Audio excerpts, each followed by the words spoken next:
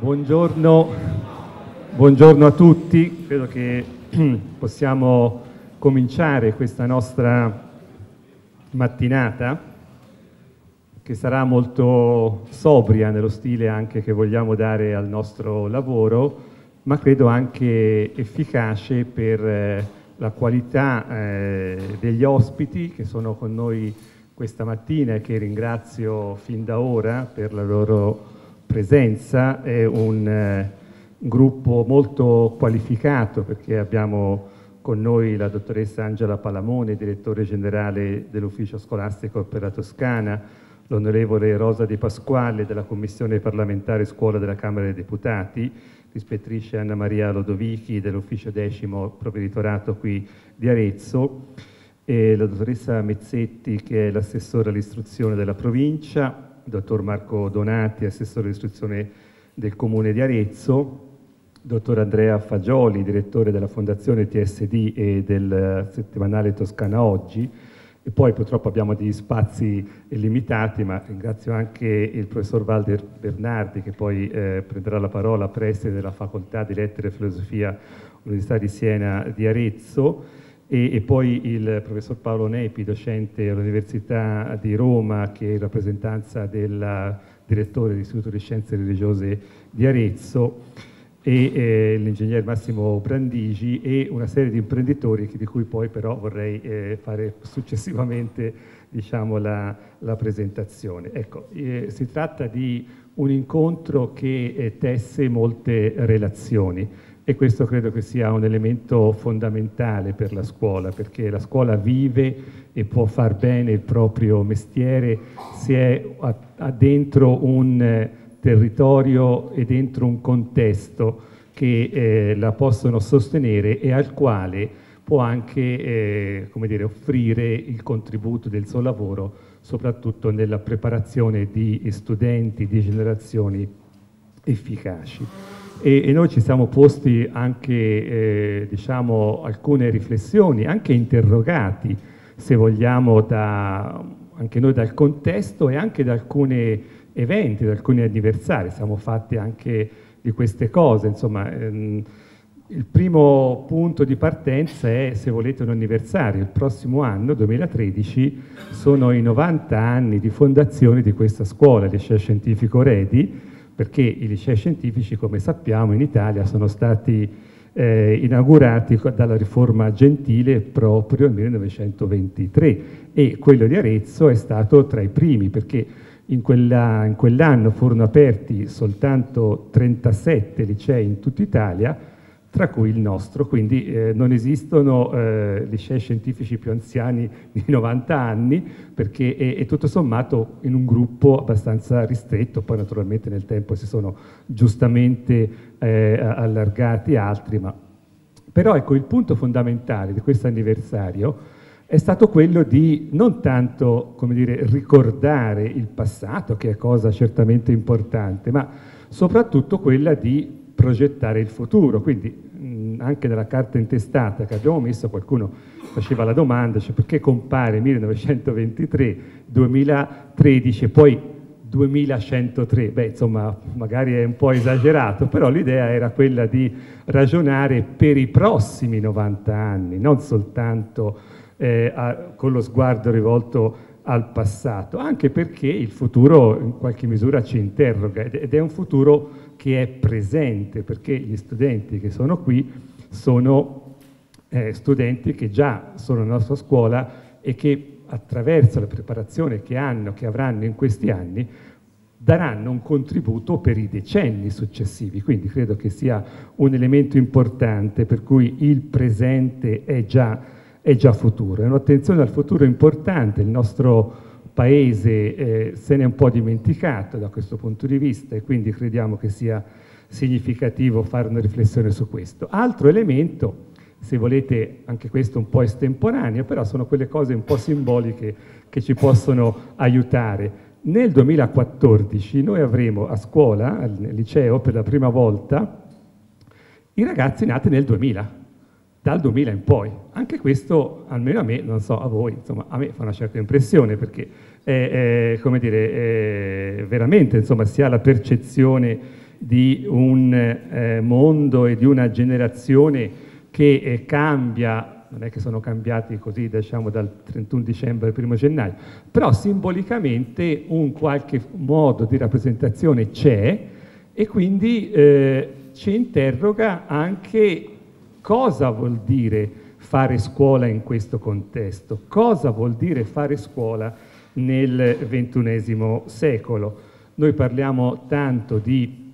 strumenti anche di comunicazione eh, digitale, delle reti, internet. Ecco, io credo che bisogna abituarsi a ragionare piuttosto in termini di ambienti.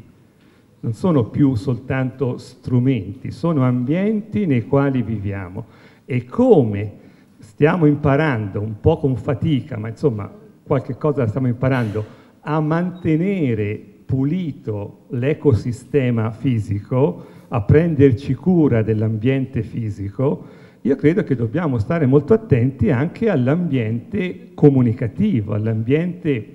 mentale, a quegli spazi nei quali ormai viviamo e che determinano molto della qualità del nostro esistere e del nostro vivere. La scuola è luogo privilegiato di questa riflessione, quindi non è il fatto che stamattina si parli, insomma lo diremo tra un minuto, di, di, di strumenti, di ambienti digitali, un qualcosa, come dire, legato al semplice adeguarsi a una situazione, perché la scuola su questo deve fare una riflessione, mi permetto di aprire una parentesi su questo. Io credo che la scuola ha avuto una grande occasione già negli anni 80, fine anni 80, primi 90, insomma, quando potevamo essere all'avanguardia nel presentare un certo modo di utilizzo dell'informatica ai nostri studenti, quando non era ancora diffusa nelle famiglie. Purtroppo quell'appuntamento l'abbiamo un po' perso perché abbiamo un po' visto legate alla cultura del tempo eh, soprattutto queste macchine come calcolatore, le abbiamo visti legate alla matematica con tutta l'importanza che la matematica ha, siamo dentro le scienze scientifiche, mi guardo bene dal... però abbiamo, non abbiamo capito che si trattava di porte che davano accesso a un mondo della comunicazione. Questo è stato un deficit della nostra scuola. Ecco, dopodiché eh, questi strumenti sono diffusi e sono diffusi molto spesso con logiche commerciali, con logiche di colonizzazione delle menti piuttosto che di condivisione delle menti.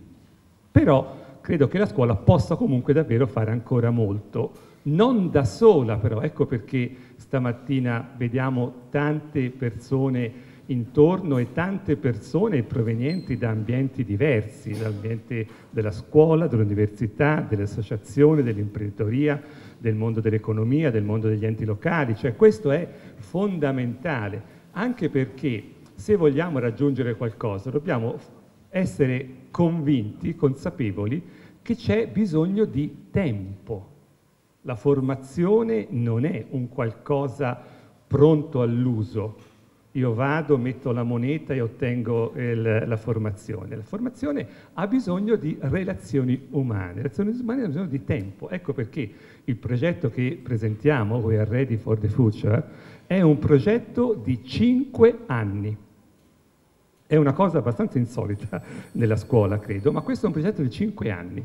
Quindi è un progetto che ha al suo interno una serie di sfaccettature diverse,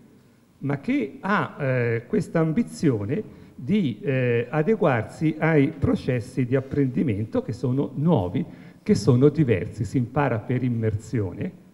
si impara perché si fa, si impara secondo un modello laboratoriale, siamo dentro una società delle competenze, quindi credo che i nostri studenti, come tutti gli altri studenti,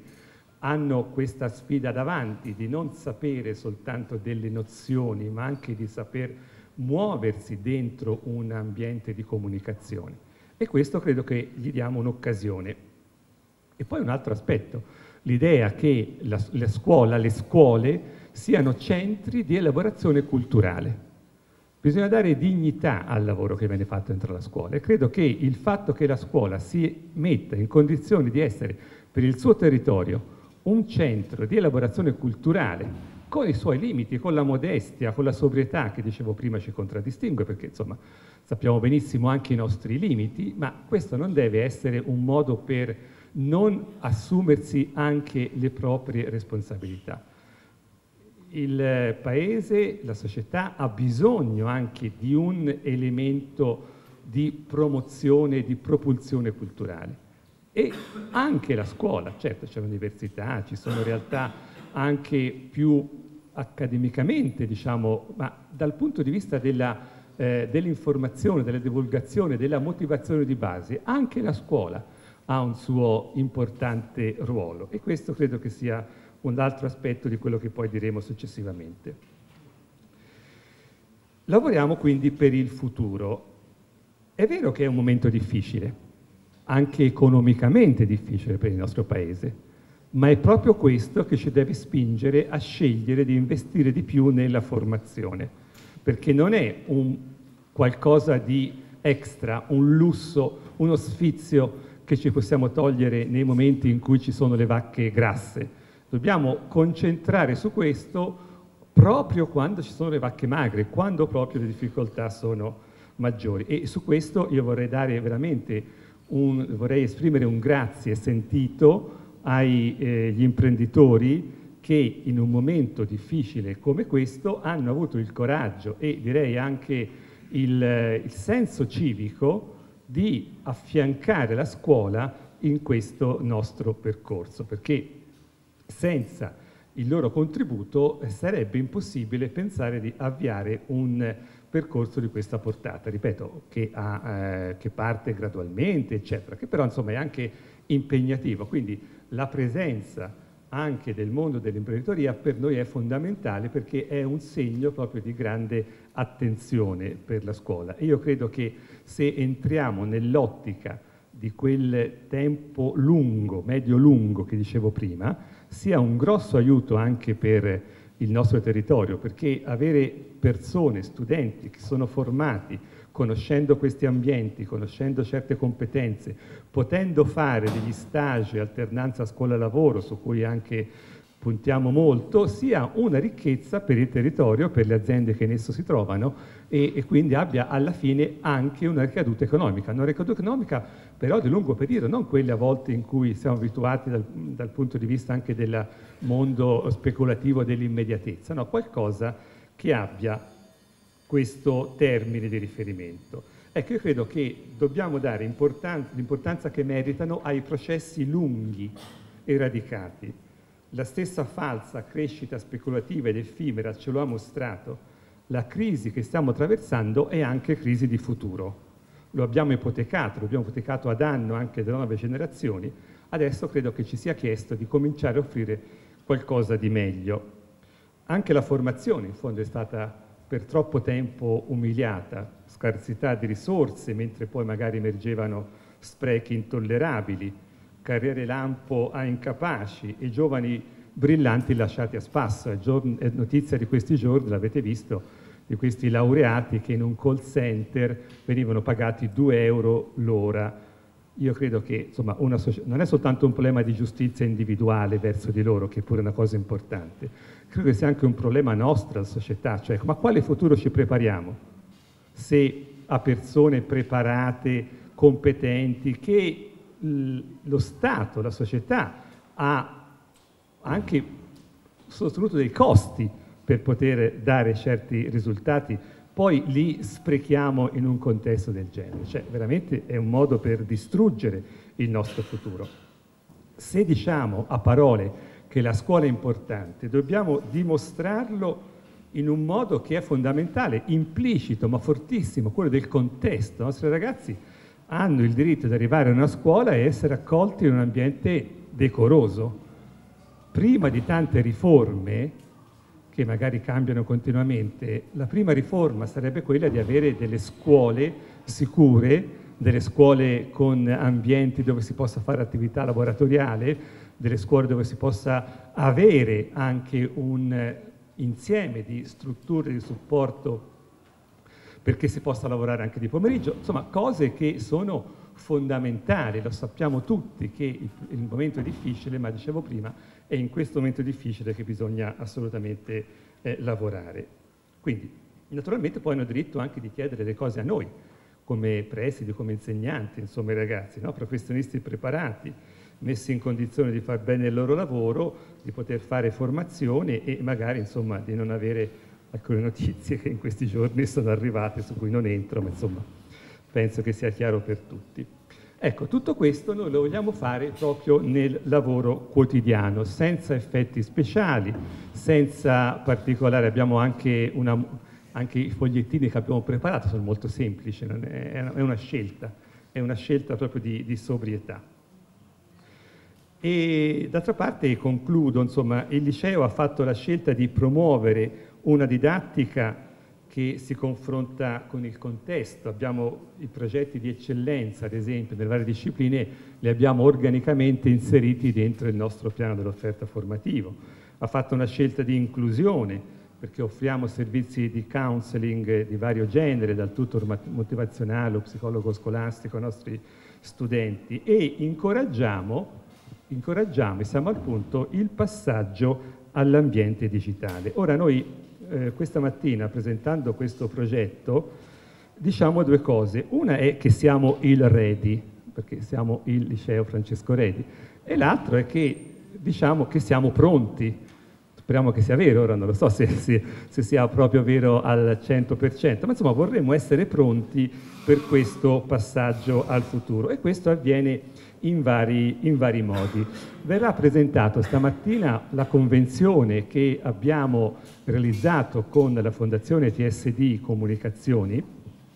per un canale formativo. Ecco che allora si prende corpo quello che dicevo prima, cioè il canale 217, lo dirà meglio di me poi il dottor Fagioli,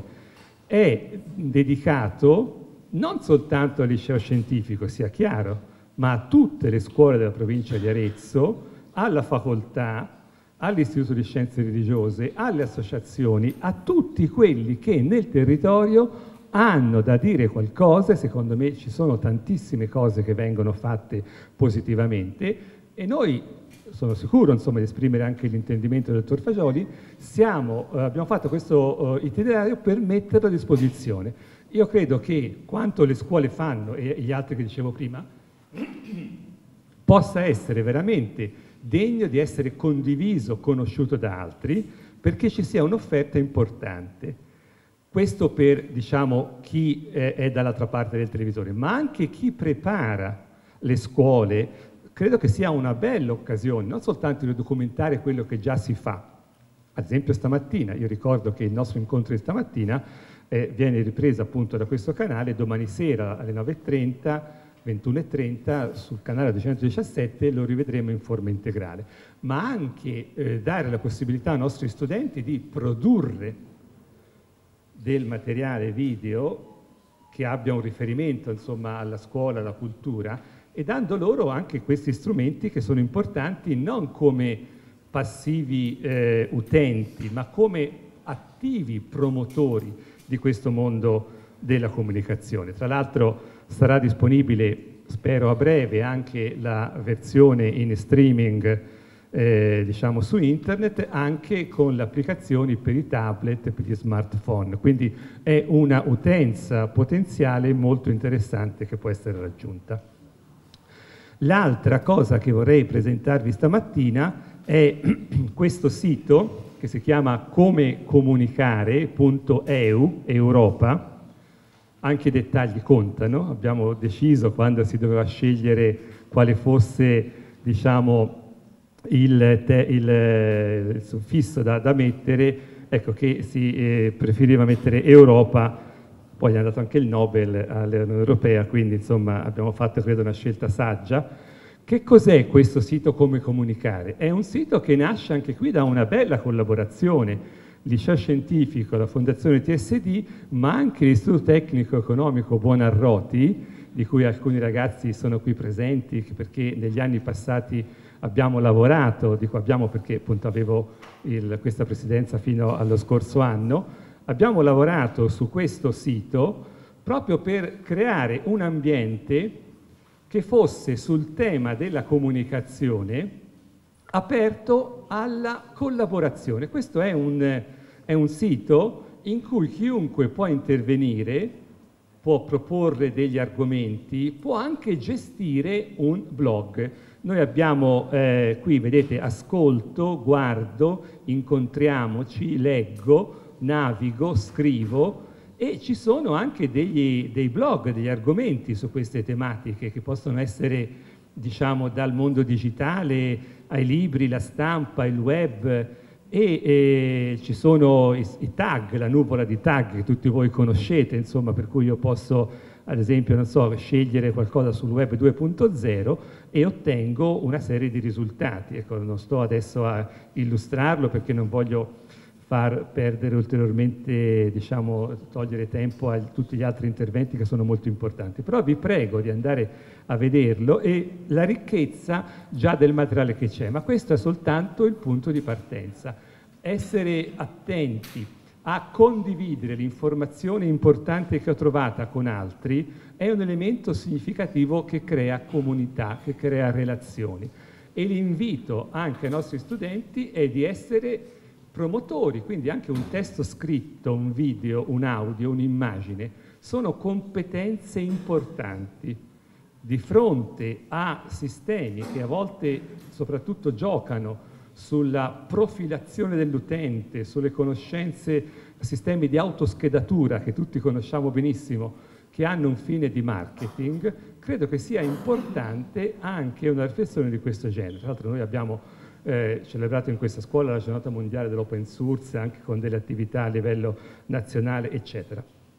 Poi ci sono anche altri aspetti, li eh, enuncio brevemente, poi passo la parola, e che sono legati alla sperimentazione, ad esempio, dell'insegnamento, apprendimento della matematica con eh, strumenti e ambienti digitali. Qui siamo dentro un progetto eh, nazionale che eh, prevede credo sei scuole in Toscana e eh, un centinaio in tutta Italia, quindi insomma il nostro liceo è presente in questo contesto. E poi anche la eh, formazione, la produzione di materiali digitali de, per la didattica dentro la scuola. E abbiamo qui anche, vorrei salutarlo, il professor Luca Piergiovanni che proprio domani comincerà un apposito corso di formazione ed è eh, un eh, importante diciamo, formatore nazionale su queste tematiche, lavora per il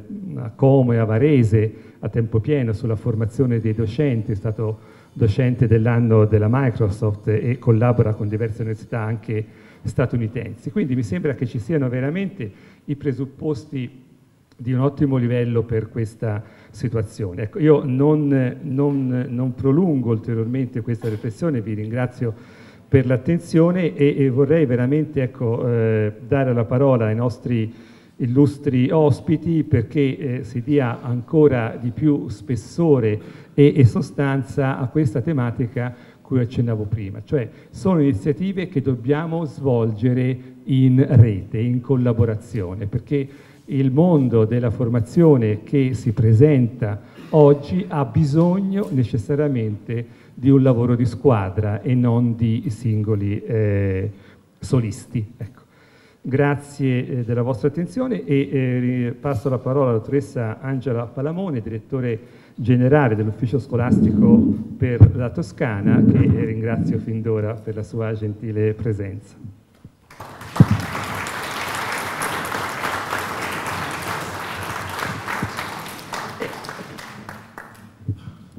Buongiorno, buongiorno, a tutti. Ringrazio il Presidente Grotti per avermi invitato. È, è molto importante, i temi che si trattano oggi sono molto importanti per il futuro della scuola e per il futuro di voi giovani. E, io eh, non nascondo non posso conoscere tutte le scuole della Toscana e tutte le esperienze, quindi mi sono documentato, sono andata sul sito per eh, vedere che cosa faceva questo liceo e eh, devo dire che con piacere ho notato che questo, la, i 90 anni di storia possono tranquillamente far sì che venga proiettato nel futuro eh, pensare altri 90 anni. Oggi noi siamo il frutto della nostra storia e quindi il liceo, le esperienze fino ad oggi acquisite, portate avanti dal liceo Redi, eh, ci consentono di, di dare un'apertura al futuro, di creare una scuola del futuro. E mi sono compiaciuta ancora di più nel vedere che è un liceo che ha, messo, ha portato avanti, ha messo in piedi l'innovazione. In genere i licei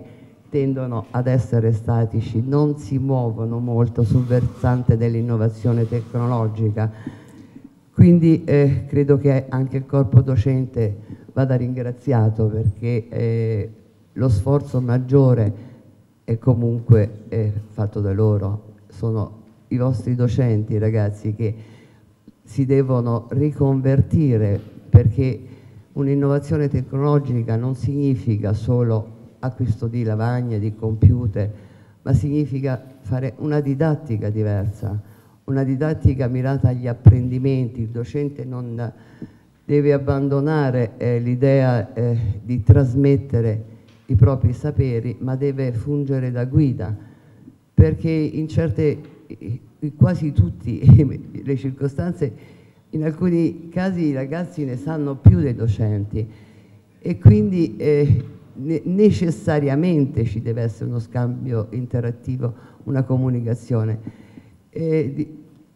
il docente deve scendere dalla cattedra, deve stare in mezzo a voi, quindi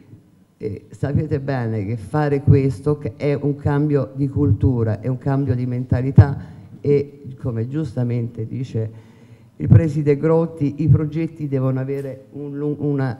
lungo termine, cioè devono fare, essere fatti progettati con ampio respiro perché si deve dare il tempo a tutte le componenti di adeguarsi al nuovo. E, ehm, è perfettamente in linea, è, è bellissimo il titolo del progetto, siamo pronti per il futuro. Ed è perfettamente in linea con eh, l'agenda digitale italiana e eh, in particolare quella del MIUR, eh, creare nuovi ambienti di apprendimento, andare fuori dal concetto classe, non c'è più la classe,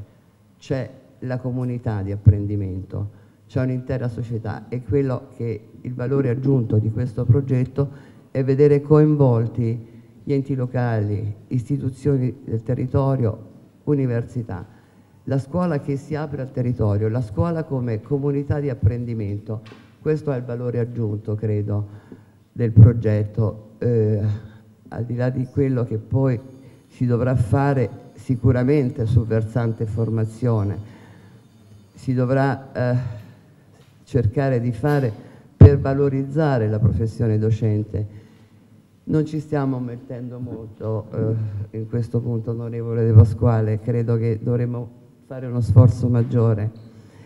perché senza i docenti non andiamo da nessuna parte, non riusciamo a realizzare niente, quindi bisogna sicuramente investire di più. Ehm, l'idea del canale formativo è, è eccezionale, cioè la scuola che si propone anche all'esterno un accesso anche virtuale alla scuola come comunità educativa, questo è essenziale. E poi l'ambiente di scrittura collaborativo, cioè nuovi, la nuova ehm, didattica collaborativa, una didattica, eh, un apprendimento tra pari. Credo che eh, gli ingredienti ci siano tutti, preside Grotti, per una buona riuscita. Tanti auguri e buon lavoro e auguri ai ragazzi.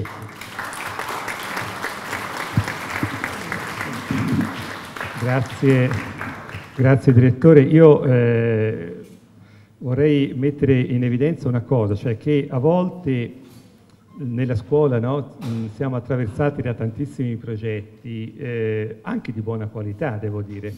però eh, manca una sorta di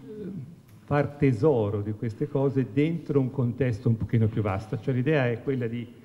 eh, noi vorremmo creare un, un, quadro di riferimento che poi alla fine è la scuola ordinaria, cioè nel senso non deve essere una cosa speciale che in qualche misura si accosta, ma sostituisce, integra, cambia, in, innova il quotidiano, quindi eh, ci possono essere anche più progetti, ma l'importante è che ci sia un quadro di riferimento, per cui come a volte mi piace dire il singolo progetto è il fatto che io vado alla pompa di benzina, faccio il pieno, ma dove vado è un itinerario che è una, un itinerario continuo, non è semplicemente una volta qui e una volta là. Ecco, questo credo che sia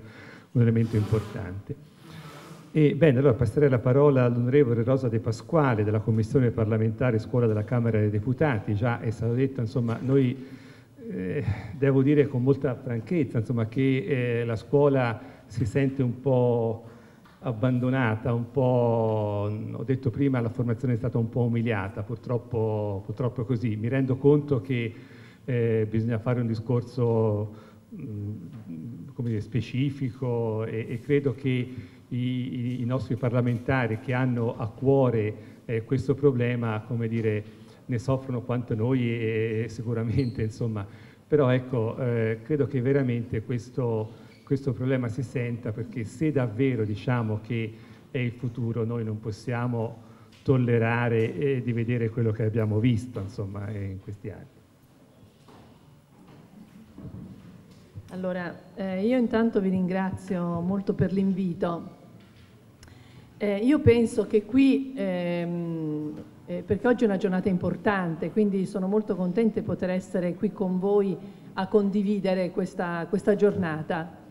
Eh, io penso che qui, come in tante scuole d'altronde dove eh, ho avuto occasione di trovarmi, eh, si stia dando applicazione, si stia dimostrando come la scuola, grazie a Dio, riesce a essere viva al di là eh, dell'impegno istituzionale per far sì che la scuola continui a vivere, perché ormai eh, quasi 15 anni fa è stata lanciata l'idea, è nata l'idea del, dell'autonomia scolastica e che poi dopo per eh, cambi di governo, altre scelte politiche, diciamo, non è stata mai portata avanti se non eh, nel suo ruolo amministrativo. No? L'autonomia che abbiamo assistito è stata più un'autonomia amministrativa. Ecco, eh, qui si dimostra come invece le scuole eh, collegate col territorio, con la lungimiranza eh, di chi sul territorio sta, eh, in questo caso imprenditori, associazioni, istituzioni locali, è riuscita a eh, portare avanti la vera autonomia, quella che era la vera cifra dell'autonomia scolastica, cioè a produrre ricerca, ricercazione, a produrre, eh, a porsi davvero come motore di un territorio, motore di crescita, di crescita culturale, di crescita anche eh, diciamo sociale, anche eh, di, di, di, risorsa eh, di un territorio. Ecco, penso che questo si debba dare atto, oggi si debba ringraziare, eh, qui in questo caso siamo in questa scuola, ma si debba ringraziare davvero i docenti, si debbano ringraziare i dirigenti lungimiranti, i dirigenti scolastici, i ragazzi che hanno saputo, diciamo, con, loro, con la loro risorsa esserci davvero all'interno all della scuola. Io penso che davvero sia fondamentale questo, questa centralità della scuola, questo motore della scuola eh, in un territorio.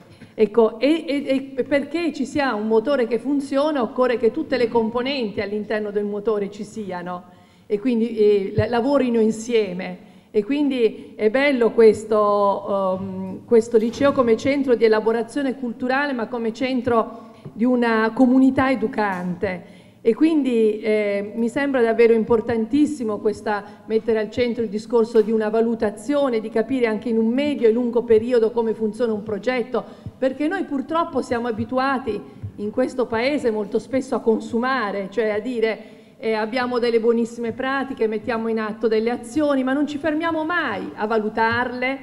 a capire, a capire che cosa funziona. Investiamo tantissimo spesso in questo, io penso a tutto l'investimento che è stato fatto per anni nelle sperimentazioni della scuola secondaria di secondo grado e poi magari con un colpo di spugna invece di capire, di valutarle, poi di metterle a sistema, le cancelliamo. E, abbiamo, e diciamo che non abbiamo risorse e sprechiamo delle risorse sia economiche ma anche tanto umane e di tempo di tante persone che hanno investito in questo. E allora io penso che davvero qui questo che inizia con tempi medio-lunghi possa essere eh, davvero un'ottima opportunità e anche dimostrare come il dover essere di, una, di un'autonomia scolastica. Ehm, l'idea appunto del canale, eh, del canale televisivo mi sembra ottimo perché consente davvero intanto di lavorare in rete, intanto di avere un luogo di incontro delle diverse, sia delle diverse istituzioni scolastiche, eh, sia delle diverse realtà del territorio e anche di non disperdere appunto le buone pratiche che via via si vanno sviluppando, perché in un canale dove ci si può parlare si possono anche acquisire idee nuove dar, e, e quindi interazione. Io poi, eh, avendo anche poco tempo, eh, mi, ero, mi, ero, preparata due righe perché oltre alla constatazione di quello che voi state facendo e della bontà di quello che, eh, che effettivamente sta nascendo qui ed è nato già, Ehm, volevo darvi eh, due parole di, un, di, di, due concetti base che secondo me sono fondamentali per far sì che davvero um, la nostra scuola possa ritrovare una dimensione, continuare anche in una strada di una dimensione eh, che sia un'effettiva ricerca, anche nelle modalità didattiche che abbiamo detto, quella frontale, lo diceva eh, la, la, la, dirigente eh, dell'ufficio scolastico regionale, sono fondamentali. Ed è, guardate, è vero, sono importanti le norme e noi ne abbiamo presentate tante, se voi andate a vedere sul sito della Camera ci sono tante norme sulle reti di scuole, sulle nuove modalità di formazione dei docenti e sulla continua, formazione continua in servizio, sulle modalità di reclutamento. Però probabilmente noi viviamo in un'epoca particolarmente difficile, in cui sono difficili i cambiamenti, perché ci si scontra spesso con delle rendite di posizione che diventa molto difficoltoso andare, andare a, a, smuovere, per cui ehm, è molto importante che la vita in questo momento parta dal basso, veramente è perché io dico eh, dobbiamo andare a valutare tante buone pratiche, sostenerle e poi andare a istituzionalizzare le buone pratiche, perché probabilmente noi in questo Paese eh, abbiamo più che mai bisogno di vita, di vita da poter, che, che in qualche modo con la sua, um, come si può dire, eh, la vita è qualcosa che non sono le parole, la vita, davanti alla vita non puoi eh, negare, non puoi arrenderti, eh, cioè ti devi arrendere, non puoi continuare a porre eh, degli ostacoli. Ecco, quindi in questo senso e allora in questo senso io ho buttato giù due piccole parole che vorrei lasciarvi proprio velocemente. Allora, eh, la scuola è stata, è e sarà sempre ponte verso il futuro, cioè un presente, perché noi siamo già un presente che deve essere, deve essere grande, però ponte verso il futuro. Per questo quando si tagliano le risorse per la scuola, quando non le si dà il posto di centralità che le compete all'interno di una comunità, quando non vengono valorizzate e fatte conoscere le numerosissime buone pratiche che le nostre scuole di ogni ordine e grado esprimono, è come se il nostro sguardo, lo sguardo di tutti noi, si rivolgesse verso il basso e guardasse i propri piedi invece di guardare avanti, invece di spaziare, di ampliare la propria capacità di visione, invece di aiutarci a vivere appieno la nostra vita. Oggi qui vengono invece ribadite attraverso questa nostra iniziativa proprio queste peculiarità della scuola anche le attestazioni perentorie da voi utilizzate, promuove l'innovazione e risponde alla sfida dei nuovi paradigmi di apprendimento e degli ambienti digitali e della società della conoscenza, dimostrano operativamente lo spirito che vi sostiene. Quello che per ora desidero comunicarvi, cum munus, cioè condividere con voi un compito, partendo da alcune affermazioni di fondo, è relativo al dove oggi ci troviamo, tutto sembra diventato più piccolo. Questa amara constatazione di un disorientamento esistenziale, di un'anoressia antropologica che riguarda oggi più che mai l'essere umano, ci induce alla riflessione pedagogica nella preoccupata ricerca di vie d'uscita, non secondarie, ci indica tre fondamentali compiti, compiti pedagogici da condividere, come mi sottolineava un mio carissimo amico pedagogista che ora mi permetto di citare. Il primo, per venire ad un'attenta comprensione della persona, del ciascuno, della condizione reale di partenza e delle mete educative implicate. Un percorso complesso, e questo lo sanno i, i docenti, problematico, delicato, che per quanto possibile deve spingerci, deve spingersi alle profondità e alle altezze, per certi versi insondabili, della persona stessa. Un itinerario di avvicinamento, incontro, un andare al tu. Il secondo, occorre un'apertura all'orizzonte delle finalità, dei valori irrinunciabili, a quella dimensione che indica l'orientamento, la direzione da intraprendere,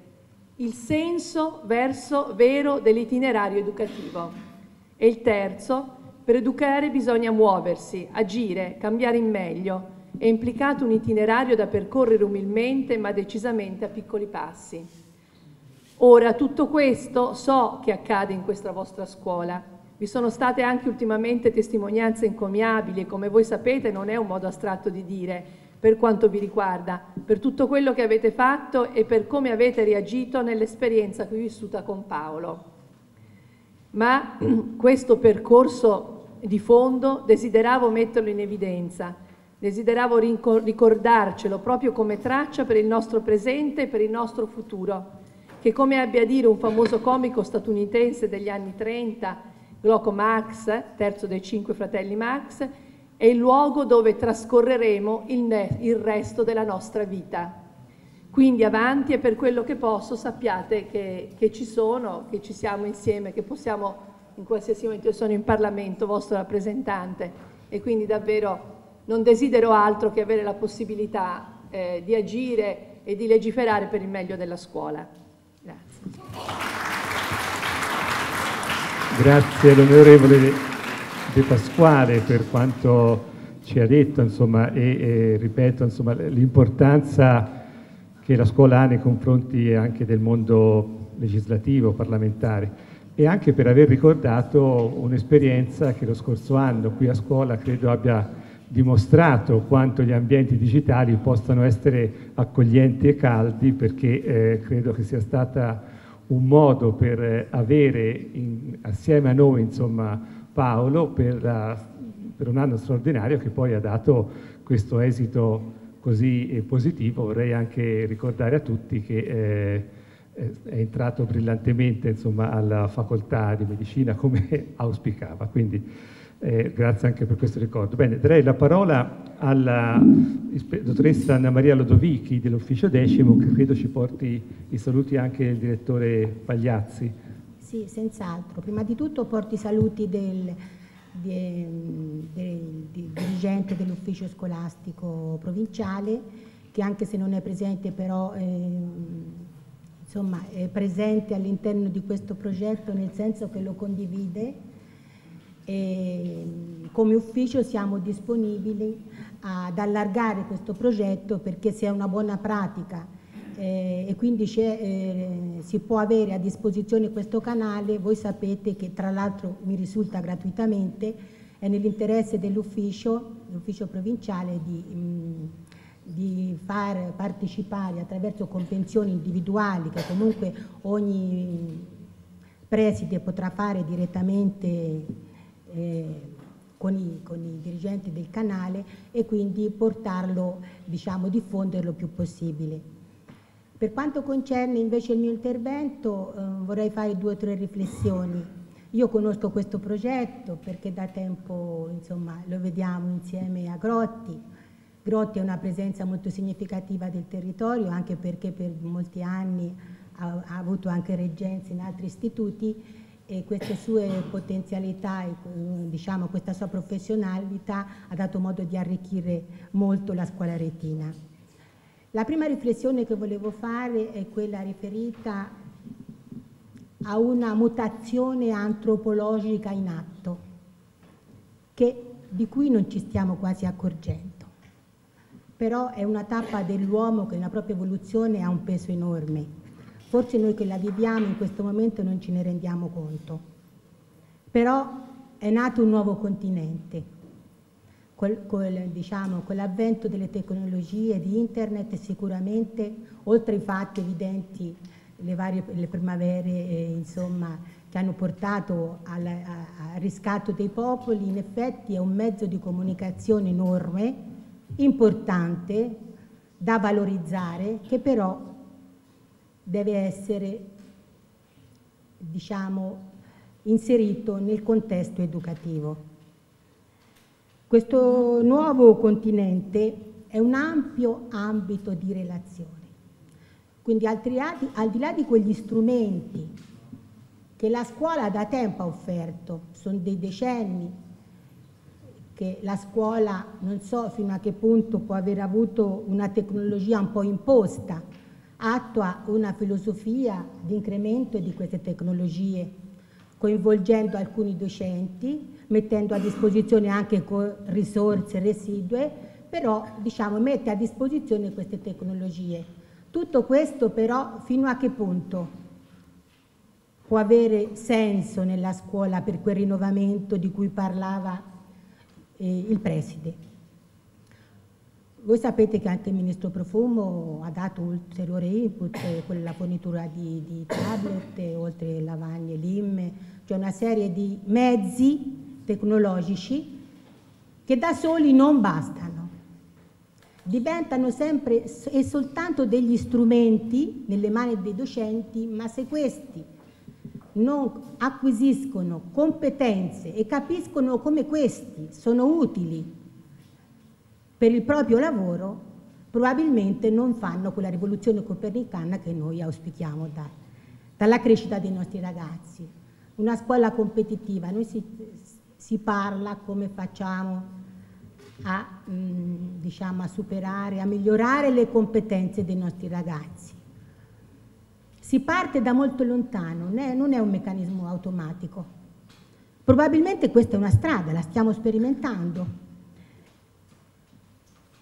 Ciò che importa è che, in questo, che internet si, si, è, eh, diciamo, si è instaurato un mondo di relazioni molto diverso. Noi abbiamo già, eh, prima Grotti ha parlato dei ragazzi nati del 2000, ma noi abbiamo già nel percorso scolastico i nativi digitali. Ragazzi che hanno molta familiarità con i, con i mezzi, con le tecnologie.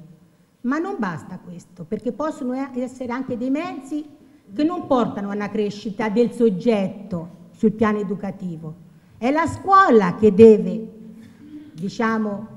valorizzare, entrare nel merito della comunicazione che avviene all'interno di questo mondo, di queste relazioni, di questo continente. E, al, all'interno, voi sapete che proprio il vostro preside ha scritto anche un libro abbastanza importante nel senso che affronta il problema della comunicazione. Come avviene la comunicazione all'interno di di questo nuovo continente? È una comunicazione reale o è un pascolo dove siamo, stiamo solo vicini? Questi sono concetti fondamentali di cui la scuola deve farsi carico. E allora si passa ad un concetto di una scuola che deve trasformarsi ma non trasformarsi da una tradizione che noi rinneghiamo. Qui noi abbiamo il preside Santori e sappiamo quanto ha dato a questo istituto e lo ringrazio pubblicamente perché so quanto ha influito sulla crescita dell'istituto e anche il consenso sociale che il liceo scientifico ha avuto nel tempo.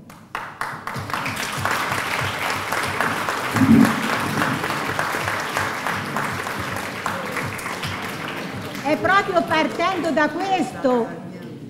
che non è che deve ricostruirsi una virginità, come magari in qualche caso parliamo di politici, eccetera. Qui c'è già un percorso molto significativo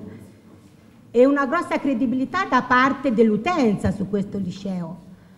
Adesso, eh, diciamo, eh, si fa un passo, si guarda il futuro. Questo è il fatto importante, un onorato passato per guardare al futuro il futuro per, alla fine, tutto questo nostro discorso vuole migliorare le competenze dei ragazzi e che possano spendere eh, queste competenze, noi si dice nel territorio, molto meglio, non a caso noi abbiamo un territorio che ha bisogno di teste ben fatte, io lo cito sempre, no? il nostro Morren quando dice non teste ben piede ma teste ben fatte. Questo progetto che, che come dico è un progetto che va sposato va reso proprio da parte dei docenti. Per far questo prima bisogna conoscere a pieno e acquisire competenze sulle tecnologie. Quindi una scuola non solo che abbiamo detto più volte trasmette cultura, ma è elaborazione della cultura, cioè una scuola che, che la produce la cultura. Ma la produce come? In una, diciamo, in una sinergia in cui docenti e i protagonisti che sono i ragazzi, perché senza il protagonismo dei ragazzi e la rimotivazione dei ragazzi,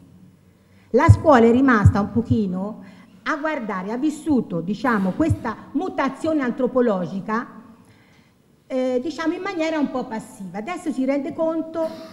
del patologico, cioè ha visto più il patologico, i ragazzi sono meno attenti, non hanno capacità logiche, non riusciamo a avere disciplina, senza interpretare quel, la mutazione del soggetto, dell'uomo, che avviene a livello anche fisico, perché ormai sia nelle neuroscienze o anche altri, diciamo, tipo di, di, di ricerche, evidenziano come si sta potenziando l'emisfero destro rispetto al sinistro. Quindi questa forte immersione su, su questa, eh, su sull'immagine porta a una modificazione e la scuola non può prender, che, che prenderne atto. Quindi mettendosi in una sinergia riusciamo a fare questo passaggio, questo adeguamento diciamo graduale. Allora, ritorno a, a, a, un concetto fondamentale, scuola che elabora cultura, scuola che non va nei giornali con overdose nel patologico, ma scuola che si qualifica all'interno di un canale in cui fa vedere cosa fa, in cui i ragazzi, io per esempio ho in mente un lavoro che stanno facendo qui i ragazzi sulla matematica, che mm, propongono ad altri ragazzi, quindi un discorso aperto, qui c'è la professoressa che lo segue, presentando dei giochi di, di matematica sotto forma come settimana enigmistica, no? E questo ovviamente coinvolge i ragazzi perché l'interesse oggi per, questo, per questi diciamo apparecchi che loro hanno in mano tutti i giorni e bisogna partire da lì per poi però trovare la cosiddetta anche etica della comunicazione, cioè non più una comunicazione come pascolo, ma, come, ma una, la scuola che, che, rivalorizza, ecco la metodologia utilizzata. La metodologia che qui viene utilizzata è una metodologia, diciamo, di, di, di, di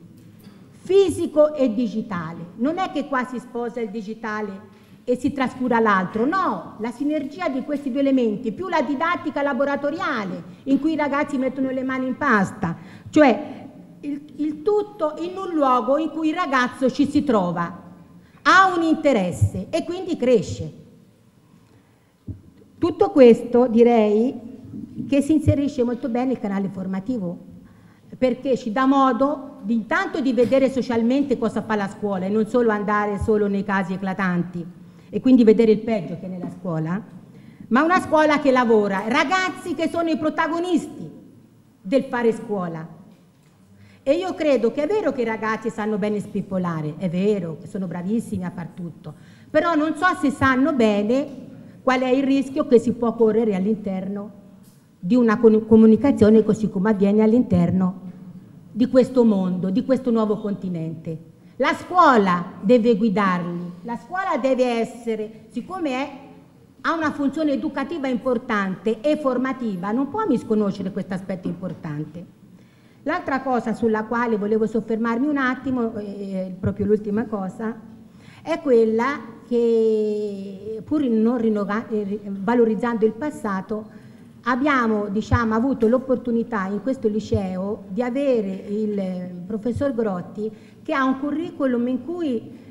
le tecnologie sono il suo cavallo di battaglia, cioè veramente ci crede, ci crede fermamente in questo mondo, questo è, molt, è molto importante. Non solo, ma è anche un filosofo. E voi sapete come mai, come in questo periodo, la filosofia è ritornata di moda perché sono sempre quei famosi interrogativi che l'uomo si pone fin da primordi. Ecco, allora eh, avere una figura stabile, perché è il, pre, è il, vostro preside, quindi è un preside ancora giovane, un preside che si può permettere di programmare cinque anni e quindi può vedere anche insieme a voi costruire qualche cosa di significativo. Quindi certamente è già stato detto, il preside secondo me è un punto fondamentale. Sono sempre stata convinta come ispettore che un buon manico serve molto in un contesto specialmente così importante. Voi sapete che qua ci sono 47 classi, ci sono circa 1000, 1000, 1150 ragazzi, un grande collegio, quindi un'operazione che parte gradualmente, ha detto in cinque anni, ma se c'è questo faro, se c'è questo obiettivo con tutti i partner che vedo qua riuniti che possano veramente far crescere i nostri ragazzi, perché non dimentichiamoci che il mondo oggi ha bisogno di teste molto ben fatte e i ragazzi competitivi. Non, non consentiamo più che nostri, i nostri ragazzi vadano fuori. Prepariamoli per poi anche restare nel territorio valorizzandoli nel suo, nel suo, nella loro creatività e le potenzialità che comunque la scuola gli, dà, gli permette di poter arrivare. Buon lavoro.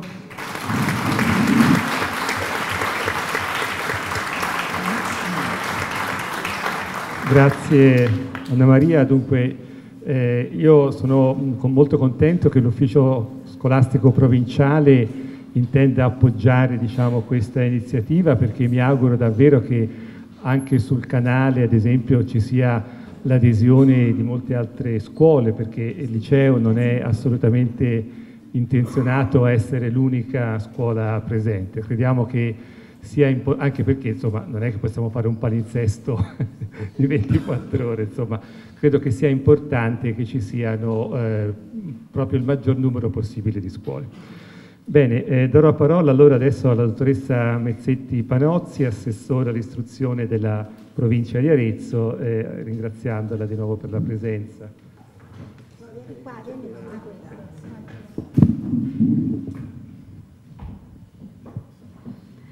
Buongiorno a tutti, è veramente difficile arrivati a questo punto dare un ulteriore contributo perché tante cose importanti sono già state dette,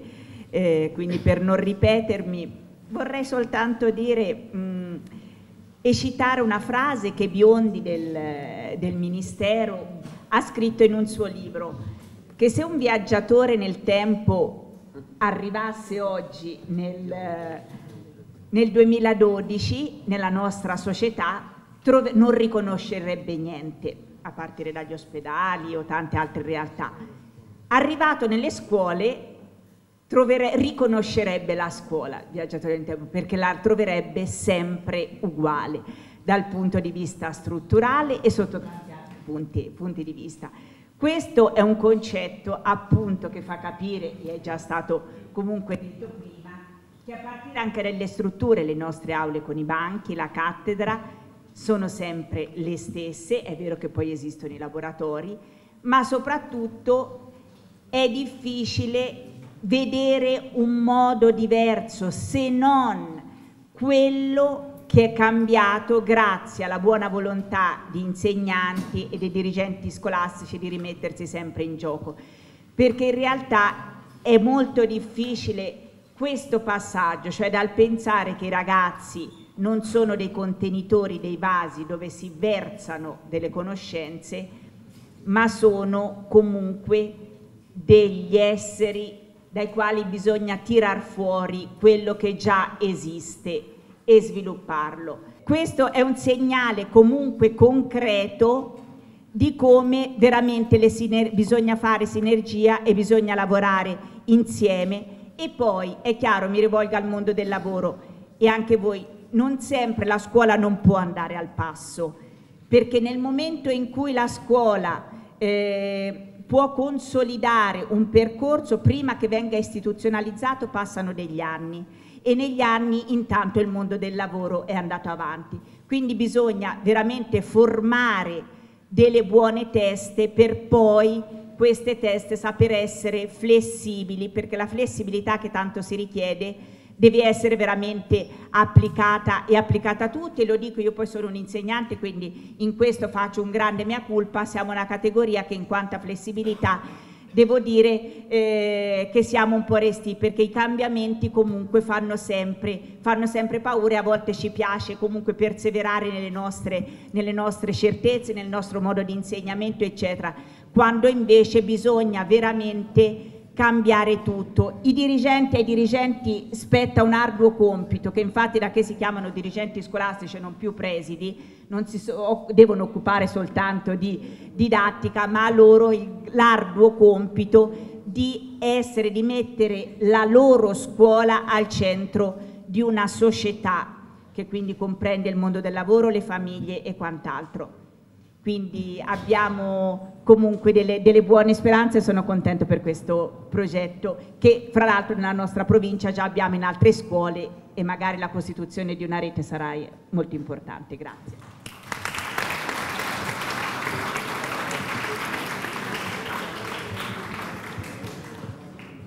Bene, grazie anche per questo intervento. Speriamo che questa sinergia, appunto, di cui si parlava prima, possa poi eh, dare gli esiti che tutti noi speriamo. Ecco, poi darei la parola al dottor Marco Donati, assessore all'innovazione e politiche giovanili del Comune di Arezzo, eh, che ringrazio come tutti gli altri di essere venuto, ma in particolare perché credo che sia poi anche stamattina giorno di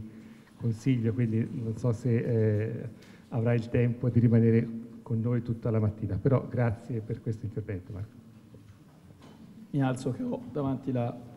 il computer e la pianta. Grazie al professor Grotti per questo invito. Eh, se dovrò sentarmi tra poco vi chiedo scusa, ma c'è consiglio comunale stamattina ho una pratica in quanto anche assessore al bilancio abbastanza importante, quando toccherà a me mi chiameranno e dovrò assentarmi. Mi dispiace perché ci tenevo a essere qui tutta la mattina perché oltre agli importanti autorevoli ospiti questa mattina del professor Grotti, ci sono anche eh, autorevoli imprenditori che sono parte di questo progetto, che credo diano anche il senso dell'importanza di quanto sta facendo il liceo Redi. Liceo Redi che eh, devo ringraziare perché è particolarmente attento a questi temi, più volte abbiamo collaborato con il professor Grotti per eh, questioni strettamente importanti legate all'innovazione e alla comunicazione. Sta cambiando ovviamente eh, il mondo, siamo, eh, chi mi ha preceduto ha, parlato, ha, usato spesso un termine che è condividere, condividere è un termine ormai eh, importantissimo, eh, riguarda quanto sta cambiando nel mondo eh, moderno, soprattutto l'utilizzo dei social media, pensiamo a quanto sta accadendo con l'utilizzo soprattutto di Facebook, di Instagram, di Twitter e tutto quello che oggi ci consente di modificare il nostro modo di pensare e avere le informazioni. Sta cambiando tutto. Oggi sembra in declino ormai quello che prima era qualcosa di consolidato, la carta stampata rischia di essere travolta per esempio dall'utilizzo di un altro modo di avere accesso alle informazioni che tra l'altro è così usuale a tanti di voi che penso eh, oggi utilizzino e abbiano accesso alle informazioni soprattutto dalla rete. E qui però c'è il tema importante del ruolo della scuola che oltre a tentare di rimanere all'avanguardia come fa giustamente il vostro eh, dirigente che ha una straordinaria capacità di riuscire anche con le poche risorse a tentare di mantenere la scuola aggiornata alle nuove tecnologie, ma il tema dei contenuti, perché oggi si condivide tantissimo, però quello che si condivide eh, non sappiamo spesso se non si hanno le basi, chiaramente questo ce le fornisce la scuola e la cultura, se quello che condividiamo è qualcosa di giusto, quindi rischiamo di avere accesso a quei strumenti così facili, basta un clic e condividiamo un'informazione, non sappiamo se quell'informazione è corretta o meno, quindi noi stiamo dando spazio a qualcosa che magari non è opportuno. Quindi deve essere la scuola che ha questo importantissimo ruolo. Quindi eh, non credo neanche che eh, la scuola debba riuscirà a rimanere proprio per le difficoltà di questo Paese subito al passo con i tempi con qualsiasi innovazione tecnologica. Vanno davvero alcune cose troppo più avanti di quello che è il meccanismo ehm, di, ehm, legato alla capacità anche del, dello Stato, eh, del Ministero, di riuscire a stare al passo con i tempi. Ma la scuola deve rimanere attenta a fornire quelle informazioni, quei contenuti che permettano a noi di comprendere in un mondo in cui le informazioni circolano con tale tanta rapidità che non siamo in grado a volte di riuscire neppure a eh, contenere tutte. Ed è importante anche un altro tema, il, il tema fondamentale è quello che lo Stato, qui deve intervenire davvero la politica, deve riuscire a creare quelle condizioni per il superamento del, del digital divide, perché ormai le informazioni ehm, che passano in rete e la capacità della rete di modernizzare il nostro paese è fondamentale. Lo è perché riesce a sburocratizzare la pubblica amministrazione, dematerializzare i documenti, non è più possibile che esistano ancora i faldoni dappertutto, nei, nei, nei comuni, negli uffici dell'urbanistica, nei tribunali. Noi viviamo con questo con questo diciamo, mito che è il faldone che trovate spesso nella pubblica amministrazione, che è un papier di documenti che qualcuno deve cercare negli archivi. Non è più possibile, serve oggettivamente adoperarsi, ma non si può fare se non c'è una rete di banda larga di, che supera il digital divide, se non c'è un'alfabetizzazione informatica che a volte non riguarda voi che siete ovviamente più preparati di me e di molte delle persone che sono qui al tavolo, ma riguarda anche coloro che ancora hanno bisogno di accedere alla pubblica amministrazione ma che non hanno gli strumenti per riuscire a eh, utilizzare eh, la rete. Serve un paese che non sia coperto al 50% della banda larga, ma un paese che abbia ehm, superato davvero gli steccati perché un'impresa non può andare a 56k perché non ha da vendere il proprio prodotto nel mondo, i prodotti che ormai circolano in rete. Io vengo da una famiglia di commercianti, veniva il rappresentante a proporti un prodotto attraverso il suo campionario. Oggi una blogger eh, mette un braccialetto al, al polso e so, gli share de lobo, che sono dei braccialetti, diventano un, un qualcosa che si, che si, vuole acquistare eh, dappertutto perché semplicemente un passaggio in rete ha consentito a un prodotto di essere venduto e commercializzato. Quindi cambia tutto, lo dicevo agli amici pochi giorni fa, il professor Tagliaferri, che hanno creato delle bellissime composizioni con ehm, quel progetto straordinario che vede collaborare tra l'altro anche la provincia, stanno producendo tantissimo materiale che vogliono tentare di vendere, collegarsi alle imprese, senza la rete queste cose non possono essere pubblicizzate. Poi chiaramente cambia il mondo e qui c'è anche il ruolo del, del Comune di Arezzo. Stiamo tentando di fare ehm, delle cose, soprattutto la rete wifi nel centro storico ancora è una mancanza importante.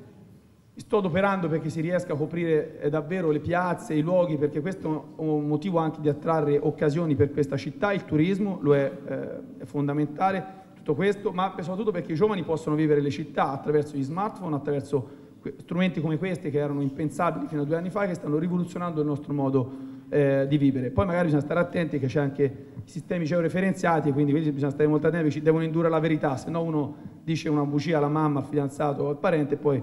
magari si accorge in rete che ha detto che era a studiare in biblioteca, invece magari è dall'altra parte, quindi questo bisogna... ci inducono, sono strumenti, ci inducono anche alla, alla, verità. Io credo che sono stato anche troppo lungo, volevo essere eh, brevissimo. Eh, è davvero importante prepararsi al, al futuro perché tutti i paesi, ehm, in, non, non, il nostro purtroppo, stanno, che stanno investendo, eh, che stanno tentando di ridurre la spesa pubblica, soprattutto i paesi occidentali che hanno un fortissimo debito pubblico, però non stanno rinunciando ad investire su questo tema. Lo deve fare anche il nostro paese perché per troppo tempo è rimasto in piedi, grazie ai dirigenti eh, come il professor Grotti, oggi ci riuniamo qui per parlarne, forse anche per eh, cercare di trovare tutti insieme delle soluzioni. Grazie.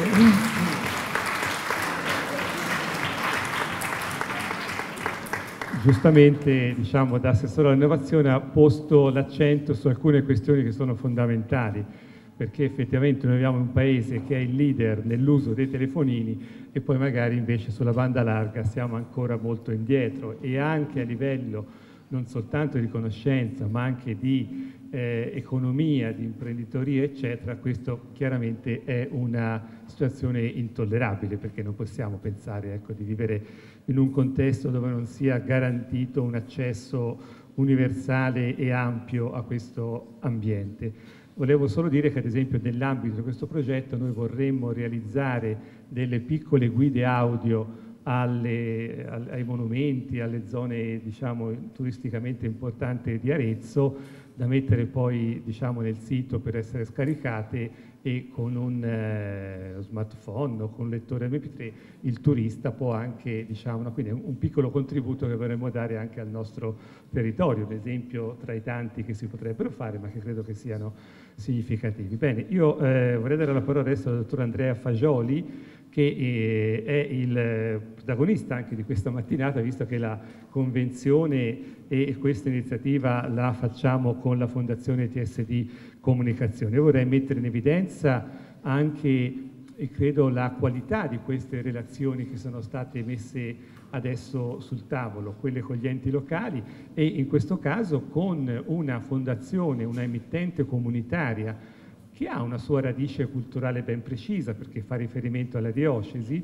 ma che è anche capace, mi sembra, di avere uno sguardo laico sulla realtà e di porsi in maniera molto plurale e molto corretta con realtà come la scuola pubblica, che naturalmente essendo pubblica è di tutti. E vorrei citare un'esperienza che già sta andando avanti da alcuni anni, che è quella del telegiornale multilingue in cui eh, persone di varie nazionalità, di varie lingue parlano di quanto accade nella nostra città, è un elemento di integrazione importante e di pluralità, perché abbiamo questioni che vanno appunto dal eh, polacco, romeno, albanese, ma anche arabo e, e quindi insomma una presenza multiculturale importante eh, lo dico anche per diretta esperienza, eh, perché molti di questi diciamo, vengono anche dalla, dal CTP, dalla scuola per stranieri del Buonarroti, di cui appunto, sono stato preside per cinque anni e che ha dimostrato veramente una grande attenzione. Quindi vorrei ringraziare ecco, la Fondazione TSD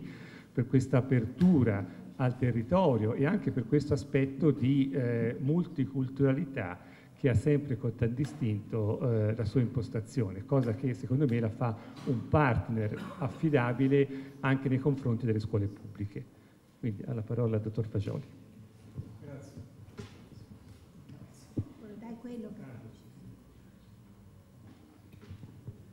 Sì, grazie. Eh, TSD TV ha messo a disposizione il canale, questo è stato possibile grazie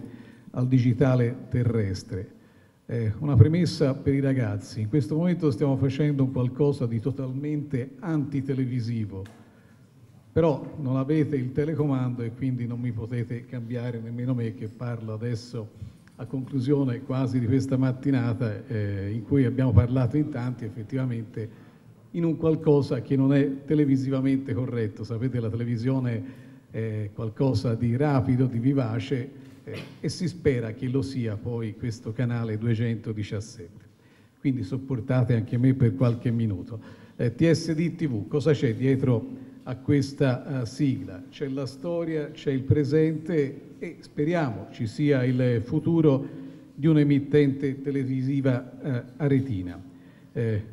il preside Grotti diceva all'inizio a proposito dei 90 anni di questo istituto, senza rinnegare il passato ma progettare il futuro. Effettivamente questa è anche la storia di questa emittente. C'era una volta Tele San Domenico, non lo rinneghiamo, però tre anni fa è partito un percorso diverso, un percorso nuovo, tanto che adesso eh, teniamo a chiamarci TSD TV, perché in questo TSD cosa leggiamo? Leggiamo sì il vecchio Tele San Domenico, ma leggiamo anche un qualcosa di nuovo, potremmo leggere TV, stampa e digital media, ad esempio, nella stessa eh, sigla, perché è iniziato un percorso, soprattutto un percorso che ha portato ad un polo unico dell'informazione in diocesi di Arezzo, Cortona, San Sepolcro, che ha messo insieme la televisione, che ha messo insieme il settimanale diocesano e lo ha messo insieme alle altri settimanali diocesani della Toscana, per questo anche la mia presenza in questo eh, duplice ruolo anche di direttore di eh, Toscana Oggi. È iniziato questo percorso e subito dall'inizio l'emittente ha puntato la propria attenzione ad alcune realtà,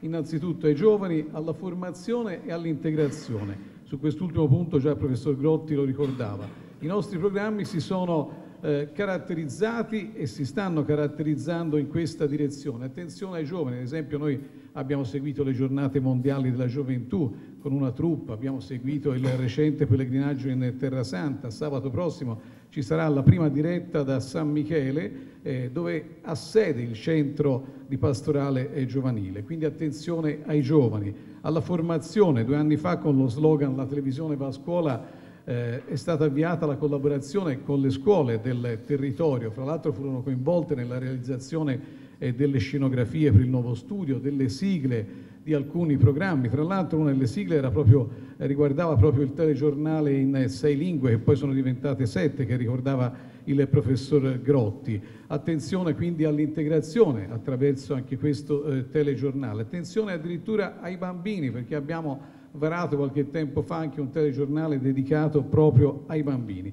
E poi la formazione, soprattutto abbiamo un'idea di TV come laboratorio, per questo noi è importante e anche alcuni dei nostri programmi che ci hanno caratterizzato in questi tempi sono programmi di carattere formativo, penso eh, alla Carta dei Valori dedicata alla riscoperta dei valori a partire da quelli della nostra Costituzione, penso al programma eh, Mappe, oppure ancora all'integrazione con programmi come la Tavola delle Religioni, Arzillamente, un programma eh, recente realizzato eh, in questi mesi e dedicato alla, all'attenzione agli anziani, ma anche all'integrazione con eh, le ricette eh, dei vari eh, paesi di provenienza delle persone che gravitano su questo territorio. E ora questo canale formativo aperto a tutte le agenzie formative, come veniva detto, si tratta praticamente di un accordo di rete che intende coinvolgere altre scuole della città, lo abbiamo detto, l'università che è qui presente, l'Istituto Superiore di Scienze Religiose e tutte le altre realtà che si occupano di cultura e di formazione. Insomma, quello che noi diciamo è che ci siamo e ci mettiamo a disposizione. Siamo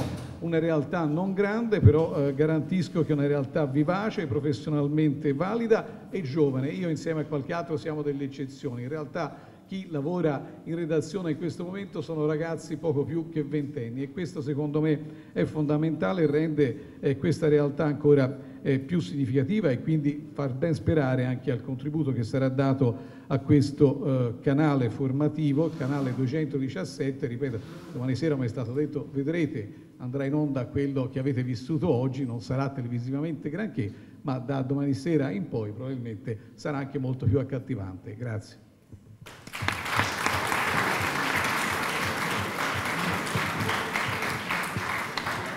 Grazie anche per la sinteticità televisiva che in questo caso è stata rispettata. Io eh, credo che sia veramente un'occasione importante. Vorrei anche ricordare che TSD mette a disposizione gratuitamente questo canale, questo mi sembra una condizione importante. Eh, l'impegno richiesto nella Convenzione da parte delle scuole è chiaramente quello di fornire il materiale, nel senso che non è che eh, possono venire loro a fare le riprese, insomma, però credo che sia anche un modo per stimolare le scuole a essere autonome in questa fase e a garantire dal punto di vista tecnico un prodotto che possa essere eh, trasmesso per TV. Però ecco, mi sembra e vorrei rilevare questa attenzione eh, molto particolare di dare gratuitamente questa, eh, questa disponibilità. Bene, eh, adesso la, eh, darei la parola al professor Walter Bernardi, che è preside della facoltà di lettere e filosofia dell'Università di Siena, sede di Arezzo, con il quale anche in questo caso abbiamo collaborazioni insomma, da diverso tempo. E vorrei citare a proposito di, a proposito di tecnologie digitali il fatto che eh, quest'anno con l'Università di Arezzo ma anche con la scuola Sant'Anna di Pisa eh, avremo una sperimentazione e insieme anche alla USL peraltro di Arezzo, una sperimentazione sui temi di bioetica attraverso il social network. Quindi la scuola Sant'Anna di Pisa eh, ha, ha, costruito una piattaforma digitale e l'università eh, diciamo, eh, ci dà il contributo e, e noi lavoreremo insieme. Ma questo è uno dei tanti esempi che si potrebbe fare. Allora, buongiorno, Dunque io eh, conosco e lavoro con Anselmo Grotti dall'altro secolo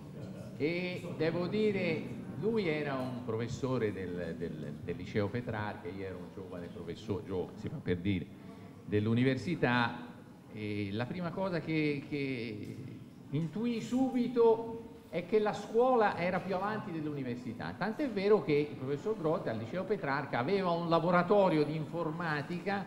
con una intranet che era una, allora una formula mitologica, mitica, e io dissi lo voglio fare anche all'università e allora per lui eh, feci una, una, una, piccola cosa, lo portai a, a fare un insegnamento all'università, a contratto ovviamente, lui era professore di scuola, di informatica applicata alla filosofia. Pensate un pochino, nell'altro secolo, insomma, eravamo un pochino eh, pronti anche per il futuro allora ma devo dire io ho dovuto sempre inseguire Anselmo Grotti, sempre dietro a lui in scia, anche come ciclista, io sono anche un ciclista, ma lui sempre davanti a me. Tant'è vero che ora io sono ancora preside, eh? quindi un rottane ormai, no?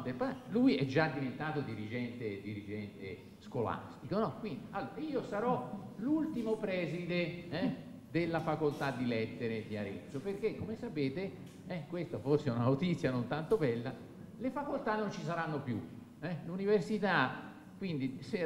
riprendendo un pochino questo, questo slogan di questa, di questa iniziativa, no? se l'università è pronta o meno per il futuro, credo che la scuola nonostante voglio dire, le diagnosi diverse che sono anche emerse in questa mattina, la scuola sia pronta. Se uno mi domandasse così, ora c'è anche il professor Nepi, magari lo sentiamo anche lui successivamente, così di brutto, se l'università è pronta il per il futuro, direi no e sì, ecco, direi no e sì, ecco, perché anche questa cosa, per esempio, che eh, scompaiono le facoltà, no? Quindi noi dovremo comunicare a breve alle famiglie, alla, alla, eh? Dovremo comunicare questa cosa che non ci sono più le facoltà, non ci saranno più le facoltà. Allora immagino lo smarrimento, lo smarrimento delle famiglie, dei genitori, ma anche dei ragazzi, a sapere che non c'è più la facoltà di ingegneria, la facoltà di lettere e filosofia, ci saranno i dipartimenti, ma insomma non avranno più questi nomi, non avranno più, e quindi voglio dire, sarà una cosa di non poco conto, come dire, riuscire a eh, come dire, entrare in questo, in questo, futuro. Però insomma, ora non voglio essere così, così pessimista, credo che ci siano anche dei segnali significativi e importanti, come dire, che fanno sì che l'università non può abdicare a questo suo ruolo storico, che è sempre stato quello come dire, di, eh, di guardare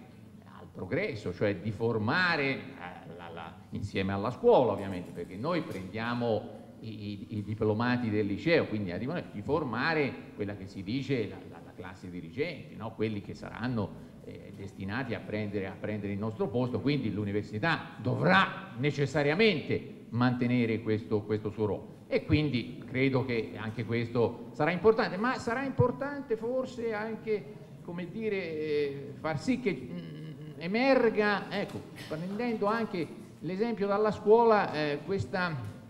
questa, voglia, questa, questa, sfida dei professori universitari di, eh, dire, di, di, di, aggiornarsi di più, perché se i professori della scuola, dire, di fronte alla pressione dei ragazzi hanno fatto, credo che l'abbiano fatto, Anselmo è un pioniere da questo punto di vista, questo sforzo enorme di aggiornarsi, di rimanere a contatto con i giovani tutti i giorni, perché la pressione dell'utenza, come sappiamo, è un, è un, elemento forte che ti I professori universitari invece, come dire, ehm, si trincerano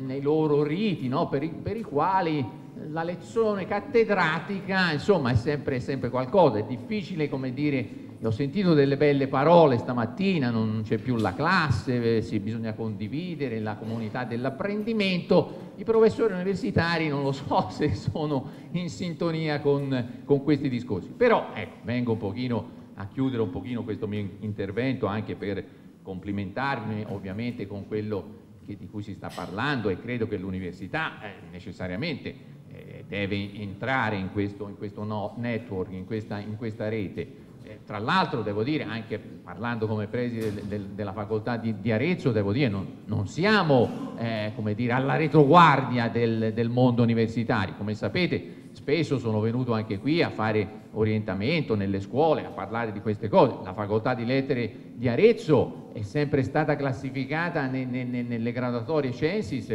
tra le prime tre eh, facoltà di lettere in Italia, quindi non siamo gli ultimi arrivati. Però, come dire, riusciamo sempre come dire, a trarre degli stimoli importanti confrontandoci con il mondo, il mondo della scuola. Allora, per esempio, cosa, questo progetto che, di cui parlava, accennava prima Anselmo, credo che sia un, un buon viatico da, que da, questo punto di vista. Cioè, in questo caso è un po' l'università, come dire, che eh, tira la fila, come dire, no, dei, dei, dei corridori dietro, nel senso che eh, siamo riusciti a intercettare un, un, progetto regionale con finanziamenti europei, eh, credo molto proiettato sul futuro, perché si chiama, si intitola eh, eh Social Network e nuovi apprendimenti, cioè che cosa noi eh, andremo a fare? E lo sperimenteremo proprio eh, con il liceo Redi, con un paio di classi, quarte e quinte, quindi a breve, come dire,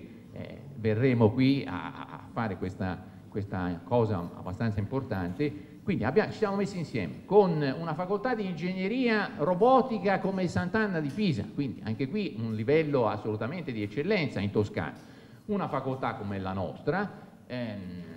mettendo insieme che cosa? Gli ingegneri che cosa faranno? Stanno costruendo una piattaforma, eh, una piattaforma digitale sostanzialmente eh, per gli utenti che sarete voi eh, le, le cavie di questo esperimento, quindi una piattaforma Facebook sostanzialmente, dove ecco, però saranno caricati, inseriti ecco, tutta una serie di contenuti di carattere, eh, di carattere culturale, latamente culturale, in particolare di, una,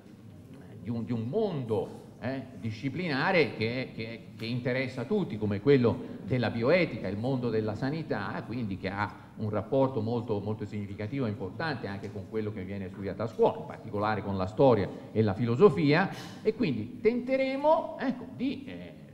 verificare ecco, se, come credo la risposta, come spesso sono domande interrogativi retorici, la risposta è certamente sì, cioè che questi strumenti digitali di comunicazione, di informazione, nuovi, moderni, hanno, al di là del loro aspetto così di divertimento e tutto quanto, un forte contenuto di apprendimento, cioè sono veramente la nuova frontiera dell'apprendimento, possono essere un modo nuovo, importante di apprendere, di misurarsi con il mondo poi reale, perché insomma queste cose sappiamo bene che anche Facebook, voglio dire, alla fine è diventato un grande motore di economia, di progresso, di economia sostanzialmente, e quindi potrebbe darsi che un'esperienza di questo tipo, che vede insieme l'università e la scuola, come dire, possa servire minimamente anche a, a colmare questa, questa distanza no? che si enfatizza spesso tra la scuola, il mondo del lavoro, tra quello che si impara nelle aule di un liceo, di un'università e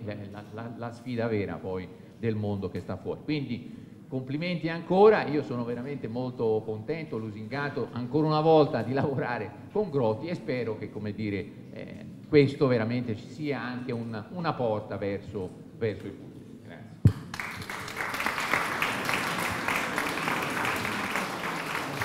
Grazie, grazie a Walter, grazie a Walter Bernardi. Ecco, io a questo punto farei una piccola modifica all'ordine, chiederei un attimo di pazienza al professor Neppi e all'ingegner Brandigi, perché vorrei chiamare al tavolo, siamo andati un po' lunghi con i tempi, ehm, il dottor Simoni per Monna Lisa e Butali,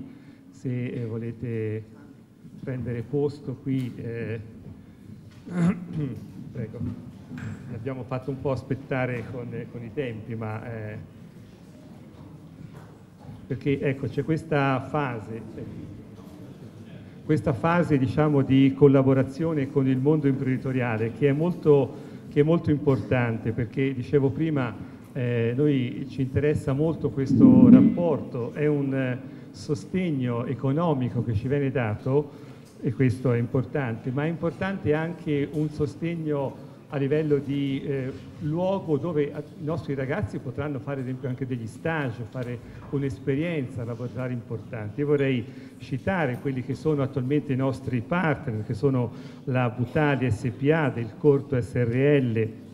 Graziella SPA, Monna Lisa SPA e anche 3M SPA. Sono nomi molto importanti, eh, molto importanti a livello anche eh, nazionale, insomma internazionale, ma in questo momento anche, come dire, vorrei fare un riferimento al territorio più volte citato, cioè qualcosa che veramente dà il senso di un impegno civile del mondo dell'imprenditoria e dell'apertura, mi auguro, insomma, della scuola a questo tipo di, di rapporto, anche in un liceo, insomma, anche io vengo da un'esperienza in istituto tecnico dove magari il rapporto col mondo del lavoro era più facile più immediato, ma credo che anche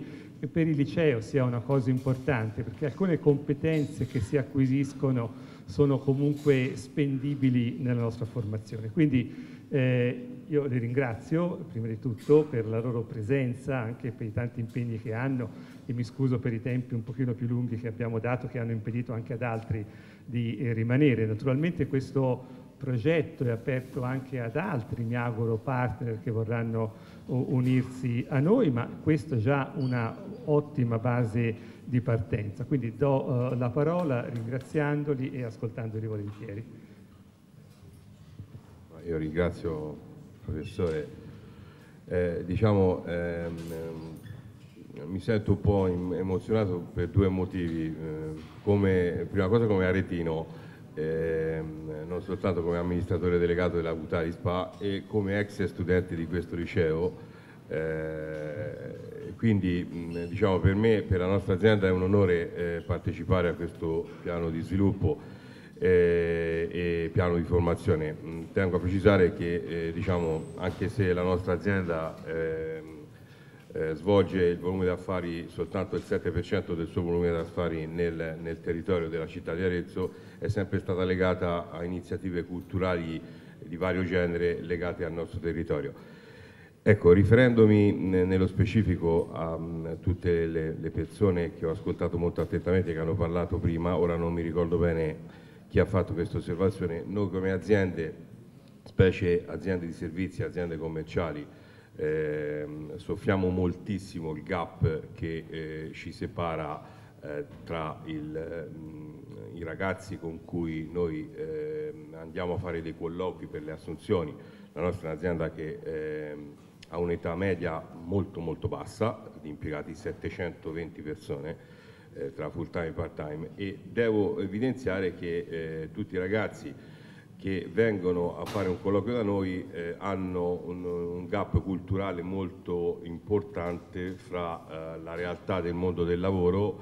e la realtà eh, della formazione, ehm, eh, mi riferisco alla formazione liceale, cioè a, a, quello che un ragazzo è in grado di fare, è in grado di recepire dal mondo del lavoro uscendo da una formazione secondaria. Questo è un, diciamo, è un trauma che ho vissuto anch'io personalmente entrando in un'azienda familiare sulla mia pelle e io non so se in 30 anni forse credo se le cose siano un po' migliorate però noto sempre questo, questa difficoltà. In, in, infatti molte aziende che devono um, vendere, devono um, stare in un mercato molto competitivo che poi riguarda poi anche l'information technology, cioè la formazione via internet e eh, tutto quello che si può fare in un'azienda commerciale attraverso internet, la nostra azienda organizza degli stage eh, prelevando proprio eh, i neodiplomati eh, e formandoli, facendo poi delle selezioni eh, di quelli da assumere e, e, e, e, dando anche degli attestati di partecipazione. Questo ehm, ritengo che non debba essere un compito di un'azienda, se non eh, in, in minima parte, ma ecco, le istituzioni, tutto quello che ci circonda, la politica dovrebbe già fornire eh, eh, una certa preparazione di base affinché un ragazzo di 20 anni possa entrare nel mondo del lavoro in un modo più consono e più aderente alla realtà di oggi. Questa è una cosa che eh, onestamente noto sia dal punto di vista personale che dal punto di vista aziendale. Detto questo, eh, il progetto eh, non so come si concretizzerà eh, all'atto pratico, ma io sono orgoglioso di far parte di questo progetto anche perché il mio amico eh, ingegner Massimo Brandici mi ha coinvolto in questa cosa che mi onora alquanto e io spero che la nostra azienda possa portare un contributo veramente importante a questo tipo di progetto legato anche al liceo scientifico. Grazie.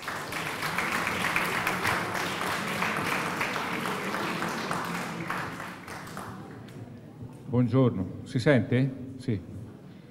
Io anzitutto volevo ringraziare il liceo e poi Brandici per aver coinvolto e pensato anche alla Monna Lisa, per averci coinvolto in questo progetto. E prima qualcuno ha detto eh, che le imprese eh, si sono dimostrate pronte a assolvere a un loro dovere anche civico. In realtà per me questo è tutt'altro tranne che un assolvere a un'obbligazione che sento di avere nei confronti del territorio della scuola. È veramente un piacere è una cosa che mh, devo dire io faccio anche con, certa, eh, con un certo opportunismo imprenditoriale.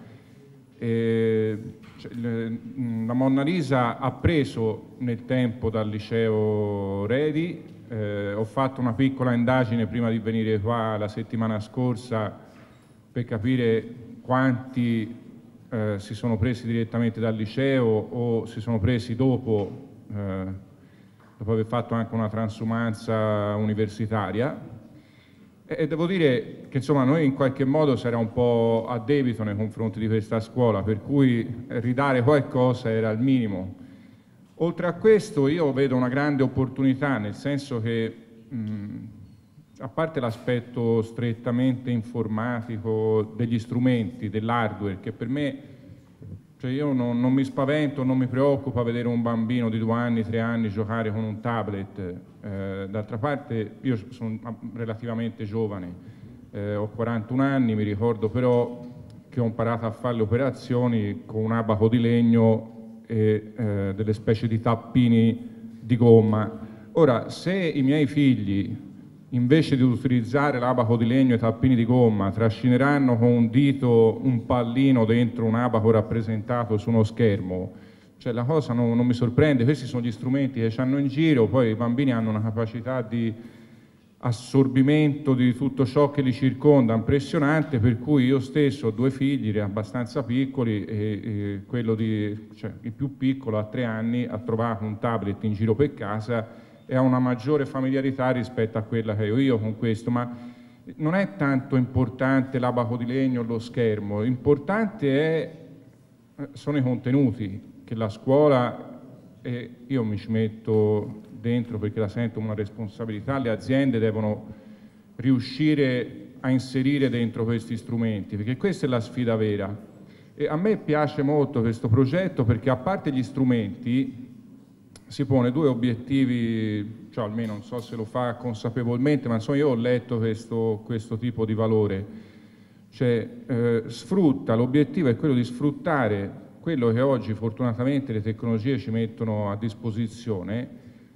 per agire in due sensi. Uno è quello della democratizzazione della socializzazione della conoscenza, che è fondamentale, cioè qui si è parlato più volte di comunità, cioè nel momento in cui io metto dei contenuti su un portale eh, in cui faccio vedere alcune cose in televisione dove non è necessaria una username e una password per poter fruire di questi contenuti, insomma a me pare un passaggio particolarmente importante, cioè il, il liceo esce con i suoi contenuti da muri della scuola e si offre anche a chi non paga le tasse per, per essere dentro questa scuola e a chi ha dei tempi che non sono strettamente conciliabili con quelli della scuola. A chi non ha avuto l'opportunità di fare questo percorso, a chi si è formato qualche decennio fa, quindi io ritengo questa una cosa socialmente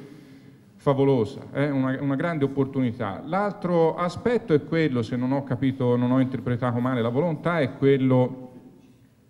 del coinvolgimento dei ragazzi nella produzione e io spero delle aziende in futuro, infatti io vorrei parlare anche delle motivazioni e degli obiettivi della Monna Lisa rispetto a questo progetto, perché ripeto, sono qui un po' perché mi sento di, dare, di dover dare qualcosa, ma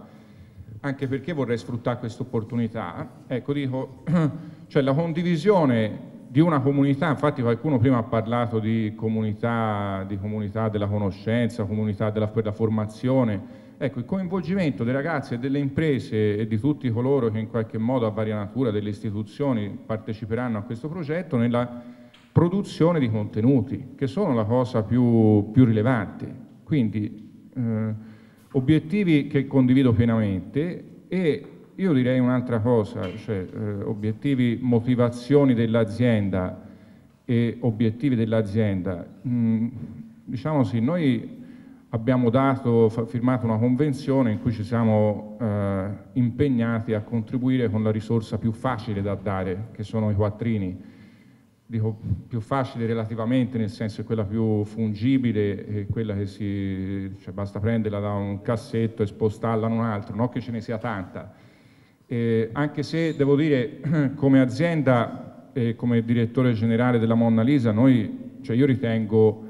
che ci siano solo due voci nel bilancio che sono assolutamente incomprimibili.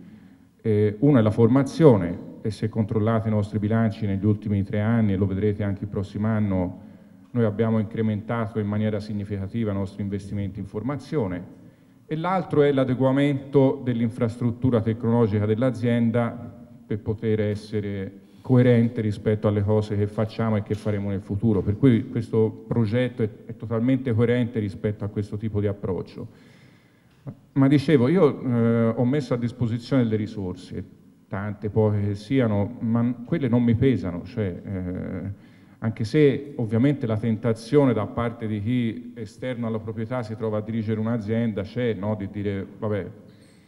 evitiamo di darti soldi, eh, tagli, tagliamo tutto il tagliabile, questi sono investimenti totalmente discrezionali, cioè voglio dire non è che è obbligatorio farli, cioè se devo fa un, fare un vestitino per una bambina e mi serve il tessuto, quello eh, non, cioè, non, è un, un, investimento, poi posso decidere di pagare meno se c'è lo spazio, posso cercare di pagare meno un fornitore, ma quell'investimento lo devo fare per forza. Quelli sulla formazione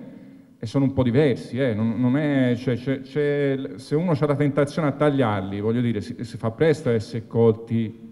in tentazione, per cui io mi ricordo quando eh, Massimo è venuto da me a parlarmi di questo progetto, dico porca miseria, un altro, siccome sono tanti i progetti che si propongono alle aziende che arrivano sul tavolo, c'è la tentazione di dire vabbè vediamo se me, me, me lo gioco un pochino Massimo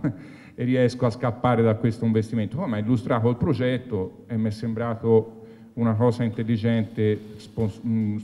supportarlo, però ecco io vorrei che non finisse qui, non nel senso che voglio pagare la prossima rata il prossimo anno, a cui mi sono già peraltro impegnato, per cui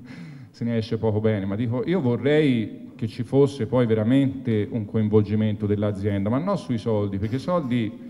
valgono poco, cioè non conta niente, ma sui contenuti, sui progetti, sulle cose che possiamo fare insieme agli studenti. Io l'ho già chiesto a Massimo, ho dato la mia piena disponibilità, cioè io le risorse che potrò mettere a disposizione, dico risorse umane, le persone che potrò mettere a disposizione del progetto, mi impegno già da ora a metterle a disposizione, mi farebbe piacere dopo che si sarà formato un, minimo di piattaforma di base, competenze dei ragazzi, i ragazzi saranno più pronti, ecco vorrei che si facesse davvero qualcosa insieme, cioè che si, si sviluppasse qualche progetto insieme per produrre contenuti insieme, per eh, avere un coinvolgimento da parte dell'azienda che sia mh, fattivo. Ecco, io eh, voglio ringraziare quindi ancora una volta e lasciare chiudere questo, questo, mio intervento con questo auspicio. Ecco. Grazie.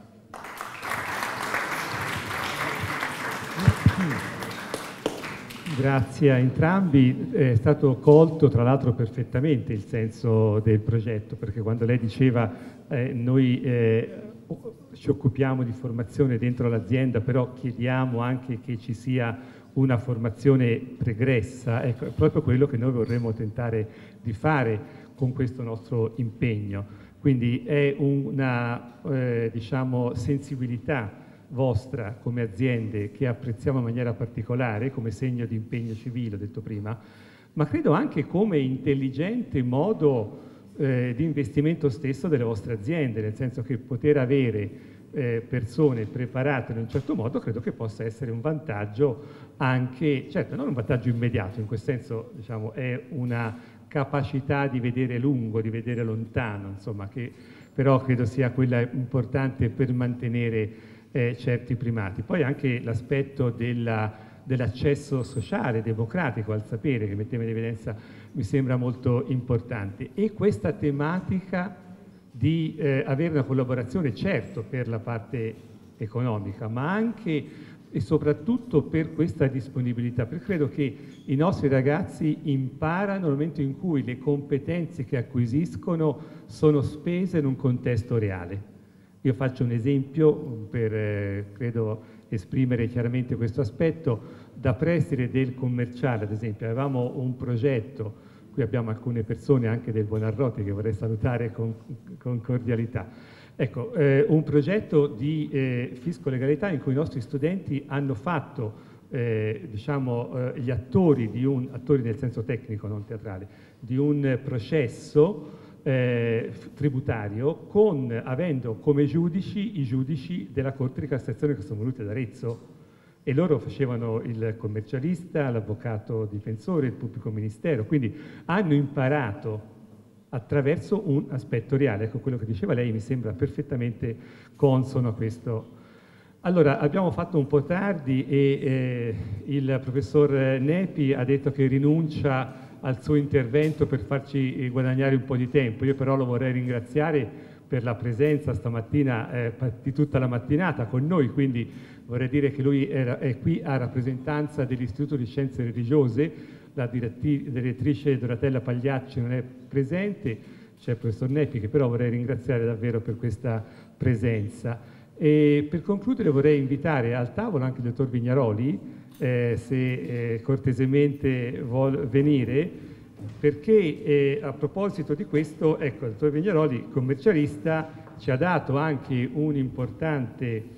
disponibilità perché noi vorremmo che questo progetto fosse il più trasparente possibile. Quindi eh, la scuola ha bisogno sempre di soldi, ma noi non abbiamo chiesto dei soldi genericamente per la scuola, li abbiamo chiesti in maniera specifica per questo progetto, quindi avremo un comitato anche no, che poi gestisce questo aspetto e eh, insomma mi è sembrato importante che ci fosse una persona di garanzia, una persona, un professionista noto, insomma competente e ben noto in tutta la città e quindi ecco, io lo ringrazio perché è stato veramente generoso ecco, nel dare questa sua disponibilità. Sono apparsi a competere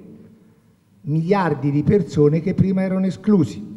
Quindi i vostri omonimi cinesi, i vostri omonimi indiani, per non parlare già dei giapponesi o i vostri omonimi coreani, cercano di affermarsi nei mercati e specialmente investendo nella conoscenza e nelle capacità. Voi dovreste sapere che quando in, Corea del Sud eh, ci sono gli esami d'ammissione all'università, praticamente si blocca il paese. In certe città è proibito persino il transito aereo perché non, coloro che fanno le selezioni non, essere, non, essere, non debbano essere disturbati. E questo perché? Perché l'ammissione all'università permette a coloro che arrivano ai primi posti di andare nelle università più prestigiose e quindi avere le maggiori possibilità di impiego nel futuro. Ecco che quindi io mi raccomando a voi, sfruttate questi strumenti e sfruttate tutto ciò che la scuola, anche se come diceva il vostro preside durante interventi, è un po' conservatrice perché se no sarete destinati a essere espulsi. Molti di voi avranno dei fratelli più grandi che oggi vanno a chiedere cosa possono fare e purtroppo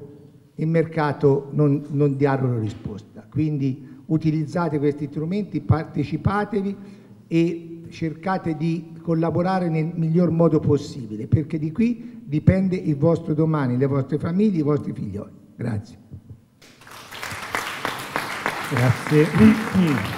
Grazie dottor Vignaroli, ha fatto un messaggio molto diretto, molto chiaro e quindi spero che eh, effettivamente, ecco, quando noi leggiamo certi dati, insomma, che ogni anno in Cina vengono sfornati qualcosa come un milione e mezzo di ingegneri, insomma, effettivamente in qualche misura l'idea che siamo dentro un contesto competitivo va tenuto conto e dobbiamo prendere sul serio questo momento della formazione. Questo è un passaggio un piccolo passo che vorremmo portare in questa direzione. Ecco, eh, io per concludere però vorrei dare la parola, come si dice ultimo, per ultimo ma non ultimo per importanza, all'ingegner Massimo Brandigi che eh, avete visto qui l'abbiamo messo come eh, lui insegna all'Università di Bologna nel, nei master legati ai progetti aziendali, ma devo dire è stata un'acquisizione straordinaria per la nostra scuola. Gli sono anche personalmente, oltre che professionalmente, molto grato perché eh, ha voluto spendere le sue competenze, che sono straordinarie, perché è veramente un mago anche del, della, di, di questo momento difficile che è il passaggio dalla preparazione scolastica universitaria a quella lavorativa. E questo è un elemento veramente strategico. A volte abbiamo anche eh, come dire, da, da, un lato ragazzi brillanti, dall'altro un tessuto imprenditoriale importante, ma eh, la connessione eh, tra i due è, è, è, a volte mancante. Per fortuna ecco, ci sono persone come lui che hanno proprio queste competenze molto forti e mi fa piacere che oltre che all'ambiente universitario abbia voluto dedicare un po' di spazio, un po' di tempo, anzi parecchio tempo devo dire in questa, in questa fase, al mondo del liceo, al mondo della scuola, perché veramente eh, diciamo, senza di lui questo progetto insomma, avrebbe eh, avuto tantissime difficoltà che eh, sono state invece eh, affrontate. Quindi io eh, approfitto dell'occasione perché vorrei proprio pubblicamente eh, ringraziarlo e come dire, mh, dargli proprio questo spazio anche dentro la nostra scuola, dentro la realtà scolastica retina, per poter portare queste competenze eh, anche di scouting in qualche misura, ecco, eh, nell'ottica che diceva anche il dottor Vigneroli, cioè che dobbiamo veramente prendere molto sul serio questa situazione. Quindi Massimo, davvero grazie e a te la parola. Eh, mi rendo conto che i tempi sono andati molto oltre quello che avevamo pensato, eh, ringrazio Anselmo moltissimo per le parole che ha voluto dire, ma non sono certo meritevole di tutto questo. Eh, io non, non, sono un insegnante, non, non, vivo il mondo della docenza se non perché mia moglie lo è e quindi lo, lo porta anche nelle mura domestiche per conseguenza. Ho passato la mia vita nel fare, nel decidere e, nel decidere e fare in azienda conducendo aziende a gestione familiare, qualcuna anche forse non proprio a gestione familiare, eh, lavorando anche fuori di questo paese, in contesti estremamente competitivi. Eh, poi dopo mi sono accorto che avevo passato 40 anni di vita di lavoro e forse mi ero dimenticato che si poteva fare qualche cosa per chi questi percorsi li doveva cominciare. E sono stato chiamato all'università per chiedermi se volevo fare qualcosa per i giovani. Ho detto, beh sì. E poi quando mi è stato detto, chiesto che cosa, ho detto insegnamento, ho detto, beh no, perché non sono un insegnante professionista, non ho la preparazione per farlo, non è la mia missione, non è il mio mestiere. E poi ho cominciato, spinto, anzi trascinato, ho cominciato, mm, mi sono appassionato e da un po' di tempo sto facendo delle cose che hanno uno scopo collegare la realtà del mondo imprenditoriale del nostro paese, che è in una sofferenza pazzesca, perché la situazione tutti quanti la conosciamo, ma il nemico più grosso in questa situazione è la paura e la depressione, perché se ci si ferma finisce tutto e non diamo futuro ai nostri giovani. Se non diamo futuro ai giovani finisce assolutamente la competitività di questo paese. E allora mi sono messo a disposizione e la faccio una cosa molto semplice Ehm, sia Sandro per un discorso che abbiamo affrontato l'anno scorso, anche con te mi sembra che sono anni che facciamo questo e eh, direi che la collaborazione è tale che le aziende danno progetti veri, non progetti didattici, che, cui, su cui non c'è niente di strutturato e di strutturale, ma è un impegno e un desiderio da portare avanti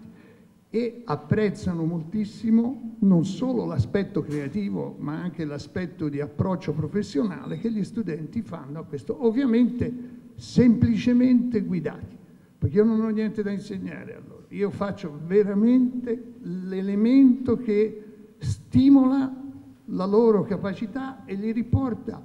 alla necessità di apprezzare anche gli altri, quindi lavorano in gruppo invece che lavorare come singoli. Ora, tutto questo credo che per la vita futura sia una delle cose fondamentali. Quando abbiamo parlato di questo progetto mi è venuta in mente un'altra cosa. Eh, dico, ma forse io sto parlando a quelli che sono, sono già troppo grandi, forse eh, si può fa fare qualcosa cominciando prima, ma forse lì ci sono ancora altre risorse, forse sono ancora più avanti di noi. E mi riferisco alla problematica proprio di quella che è la comunicazione, dove io mi sento un dinosauro sulla capacità comunicativa e sull'uso dei mezzi che sono a disposizione oggi. Fermo restando che sono sempre stato un dinosauro curioso, quindi sono molto curioso. Ho molte discussioni in casa con i miei figli, in particolare con uno, che fra l'altro è anche uno studente di questo liceo, e eh, tendo sempre a dare due, due elementi fondamentali. Mai perdere la speranza, mai perdere la curiosità, avere la voglia di tutto, ma attenzione a non temere i pericoli, perché se sei capace di condurre allora è il tuo mondo. Se invece diventi un oggetto, non più una persona, usato da quel mondo, è estremamente pericoloso. Il confine è veramente, veramente difficile perché non è ben definito e quindi questa è la sfida per i ragazzi. Ai ragazzi bisogna insegnare ad essere padroni di quello che fanno. Nell'ambito di questo non c'è niente, a mio avviso, di più utile per acquisizione di questa conoscenza di lavorare su progettualità. E le aziende che hanno aderito al progetto, che avete visto sono cinque, ma non sono solo cinque perché eh, diciamo che è già sul tavolo di altre aziende, ma non hanno ancora formalizzato l'impegno su questo, ma non ho dubbi che sarà fatto, eh, devo dire che c'è un'apertura proprio su questo aspetto cioè l'aspetto di un impegno da parte dell'azienda, ma non è un impegno al sociale, questo è stato detto molto bene, è una necessità, è un investimento, è un investimento a che cosa? Alla cosa più importante. Perché i migliori cervelli di questo paese devono andare a lavorare da un'altra parte? Perché? Perché non c'è l'offerta, non c'è, un'offerta di lavoro dignitoso, al di, al di là dei 2 euro l'ora, perché, de, de, cose, sì, 2 euro l'ora veramente mi fa pensare, mi fa pensare alla paghetta, alla paghetta, alla paghetta, cioè, la paghetta a mio figlio quando mi aiuta a fare qualcosa è superiore a quello, extra paghetta. Quindi, quindi devo, dire, devo dire che qui questo è un seme, ecco perché io sono orgoglioso di fare, di dare il mio tempo, di mettere a disposizione questo, uh, perché ci credo. Tutto qui. E vi ringrazio per avermi ascoltato.